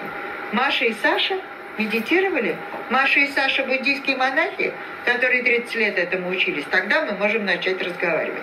А если они считают, что они медитировали, то мне неинтересно это обсуждать. Короче говоря, это очень трудная история. Последний вопрос давайте, наверное. Здравствуйте. Спасибо огромное за это удовольствие, которое получила. Я думаю, все получили этим вечером. И я тоже, у меня было очень много планов, я все отменила и осталась. Спасибо а, вопрос большое. именно вот вы затронули а, медитация. Очень много уч учебников, а, книг написано об состоянии осознанности вот можно прям пару слов, что это такое осознанности и просветления, да, и э, в контексте именно стресса. Вы сказали, что мозг работает, когда он в стрессе, да, то есть нужен какой-то такой толчок для прорыва. А э, все вот эти теории, они, как правило, сводятся именно к спокойствию, осознанности и просветлению. Это очень-очень сложный вопрос вы задали. И на самом деле не, не вполне по адресу, может быть, даже вообще не по адресу, потому что э, да, я частично сейчас отвечу, я просто хочу навести. Э, в Институте философии в Москве, кстати, очень хороший институт, и там совсем э, там целый ряд совершенно замечательных людей работает. Там есть группа людей, которые занимаются восточной философией в, при, в применении вот к современным этим нашим знаниям из нейронаук. Там семинары есть, я думаю, что там висят даже материалы какие-то. Я сама на паре таких семинаров была. Так что, может быть, стоит адресоваться туда. А я на ваш вопрос, на ваш вопрос отвечу как бы с другого бока. Вот мне некогда было об этом поговорить сегодня. Когда говорят о креативных состояниях сознания и о не сознания, а мозга. И, и о э, вот этих, это даже в англоязычной литературе, это даже называется Eureka State, состояние, о, вот оно, включ, вот, понял я, вот что случилось. Вот это по заказу не происходит никогда. Для того, чтобы такие вещи происходили, нужно войти в состояние... Извините, что я не из пижонства английские слова употребляю, потому что просто это в англоязычной литературе. Да. Это называется default state, дефолтное состояние мозга. Что это такое? Это какое-то странное состояние, когда мозгу позволяется как бы бродить самому по себе. Вот что хочет, пусть то иди, оставьте его в покое. Вот не надо ему говорить, надо работать, надо сейчас там выдумать это, у меня стресс, у меня там э, завтра сдавать там надо, статью посылать или еще. Вот ничего этого, это не поможет. Наоборот, нужно ему дать как бы бездельничать. Вот я бы даже прям так сказала. Вот знаете, как кошка бродит сама по себе. О чем хочет, о том пусть идут. Хочет жарить котлеты, пусть жарит котлеты. Хочет слушать джаз, пусть слушает джаз. Отстаньте от него тогда он открытие сделает. По заказу не делаются такие вещи. И это какое-то особое состояние. Оно даже у него, мы знаем волны, которые, вот если на энцефалограмме снимать, это вот такое странное, какое-то как бы безделье, понимаете? Оно, оно не безделье, оно как бы безделье. Я имею в виду, что если мы будем приставать к мозгу с настойчивыми требованиями дисциплины и такого правильного поведения, вот это как раз верное дело, чтобы ничего не вышло. Открытия делаются неизвестно откуда. Вот э, с полки упал, что называется, понимаете, во сне увидел. Но во сне увидел именно Менделеев. Его кухарка не Менделеев увидел. А? Или не поняла, что и, э, и, вот, а, в самую точку, именно. Даже если вдруг ей бы приснилось, а что толку? Как раз умные это люди пишут, открытие приходит подготовленному уму. Э, у меня даже такая полуидиотская версия, а может даже не полу, а полностью идиотская версия, что периодической системе Менделеева так надоело, сколько он с ней возится и никак не может как бы, что она решила, я ему явлюсь, хватит вообще. Надо кончать этот бардак. Как бы, вот, вот я во всей красе, смотри. Понимаете, оно, оно копится, оно копится. Вот копится, копится, копится, а потом бах, вот оно, получилось. То есть ты работаешь с этим, но это не значит, что ты сидишь как прилежный школьник, вот сидишь и учишься, сидишь, ну и напрасно учишься. Не, успокойся. Иди пиво выпей. Вот я смотрю на своих, я вообще не понимаю, как я образование получила, честно говоря. И мои друзья все, мы тут даже как-то собирались, пили очень хорошее шампанское. Э, просто по случаю там известное очень шампанское французское из хороших домов прибыл. И мы сидели и думали, а как это вообще вышло? Из нас несколько академиков, там мы, мы состоявшиеся люди. Я вообще не помню, чтобы на лекции ходили, честно говоря. Романы крутили, это я помню точно. А ходили пиво пить, кофе пить. И вообще как бы живут, ну, студенческая жизнь. Понятно, из чего она состоит? То есть, когда мы этому научились-то всему? Я подозреваю, что мы научились как раз во время этих сидений э, в кофейнях пивных и вот этой вот такой активной интеллектуальной жизни, веселой. Думаю, что там. Вот, кстати, мои претензии к моим студентам сейчас, вот какие. Они, я учу, они почти все настоящие интеллектуальная элита такая, они это способные очень люди. Что мне в них не нравится, они не влюбляются вообще. Я не вижу, что кто-нибудь загулял, прогулял. Господи, Может, они я только и делаю. А? просто? Научились лучше скрывать, может, просто сами? Не, не похоже. Они выходят замуж или женятся. э, У меня вообще такая версия, что они вообще инопланетные все. Им там просто записочки написали. Правильно там написано. Э, Сейчас принято разбираться в винах. Ставь галочку. Такие-то вина хорошие, такие плохие. Юбки носят такие. Нужно сначала закончить университет, магистратуру, там все такое. Желательно защитить диссертацию, галочка. Потом нужно выйти замуж за мальчика из хорошей семьи, желательно из такой-то. Понимаете, там они все слишком правильно делают. Это мне не нравится. Они какие-то совсем правильные. Вот если, я не знаю, мои лекции пропадают в результате того, что какой-нибудь праздник общеизвестный. Если у нас заболевал преподаватель, так это у нас самая жизнь начиналась. Наконец-то его нету, господи. Эти, вы что? Ты приходишь мне говорит, нас тут было Рождество, потом было это, это, это, у вас пропало три лекции. Когда вы их нам вернете? Только так. То есть ты не убежишь никуда от них. Они какие-то искусственные, поэтому я от них не жду. Прорывов я от них не жду. То, что да. То, что они умеют делать, умеет мой компьютер. Мне не нужен отличник. Последнее место, где я буду искать сотрудника, это среди отличников. Вот который так сидит, у него такая аккуратная причесочка, понимаете, там. И вот у меня есть одна, одна из самых способных моих бывших аспиранток, она пенал, знаете, на меня просто вытошнит. Вот такой аккуратненький, понимаете, они у нее там по росту, все эти ручечки так сложены. Платочек, понимаете, вот так вот сложен. Тут кружавчики, все раз... Боже, какой ужас.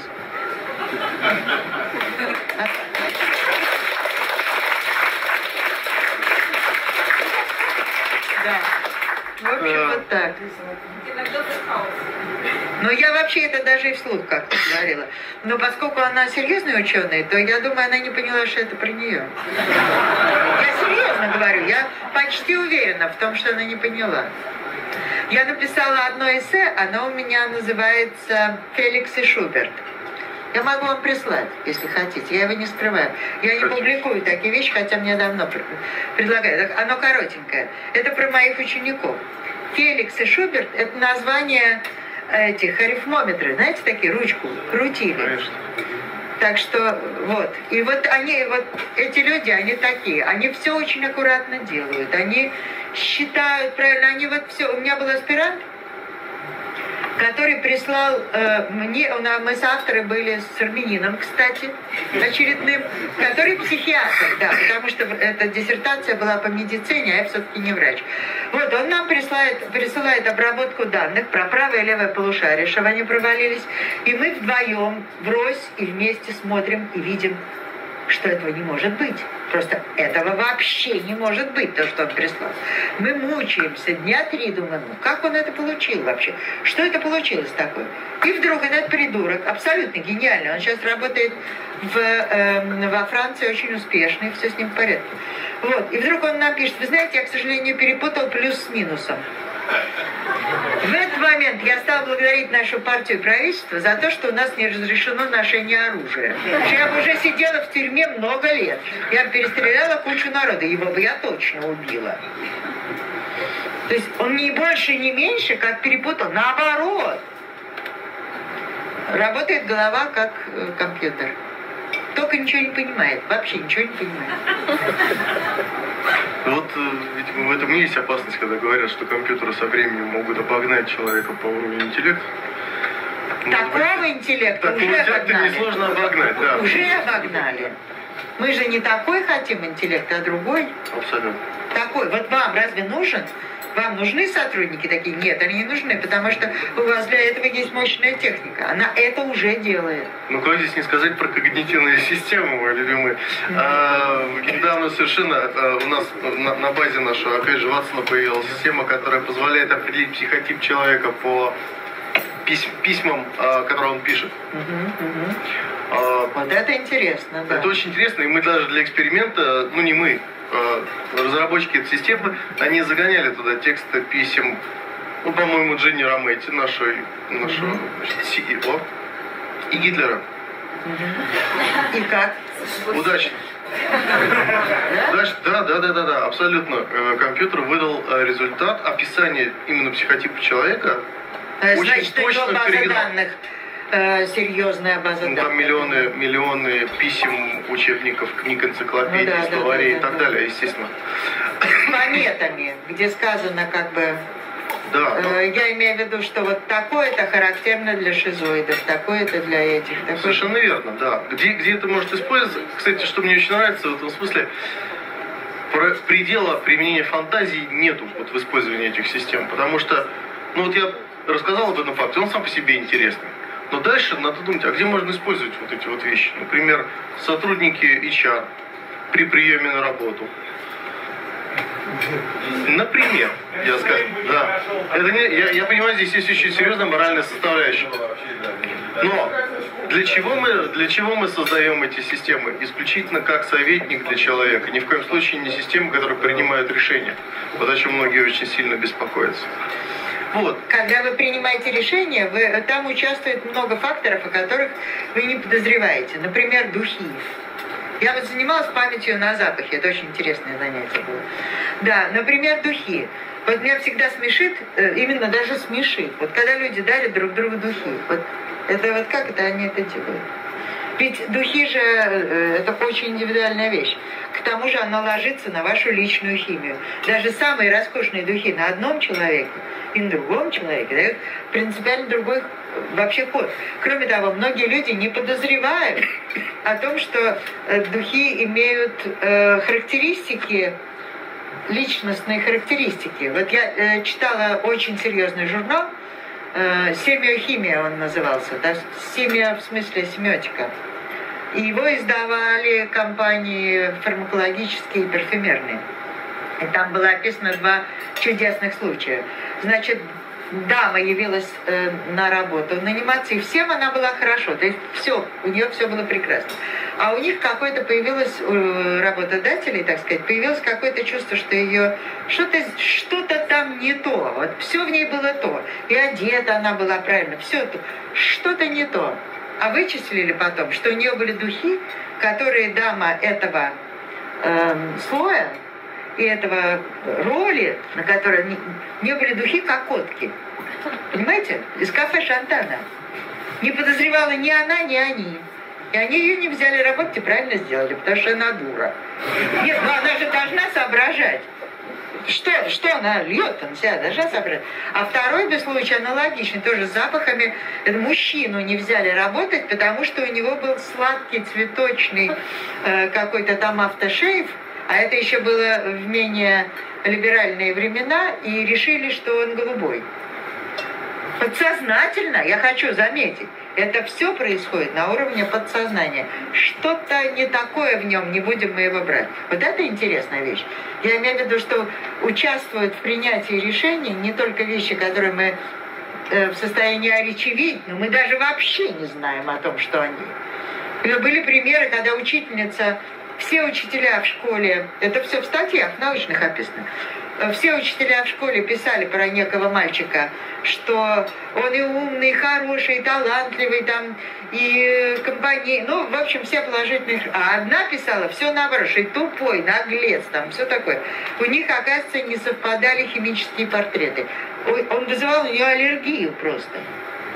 Она, и, и она его настолько ненавидела, при том, что не было никаких объективных Э, не за что схватиться было. Понимаете, если бы он... И что он тупой, тупой, но он выигрывал Олимпиады по физике и математике. Он заведомо не тупой. Бойскаут там, вообще все с ним в порядке. Только она его ненавидит. Из-за химической среды. Это важно, самом А? Это важно. Дамы и да. господа, леди и джентльмены, я с чувством огромного сожаления вынужден сообщить, что наша официальная часть на этом заканчивается.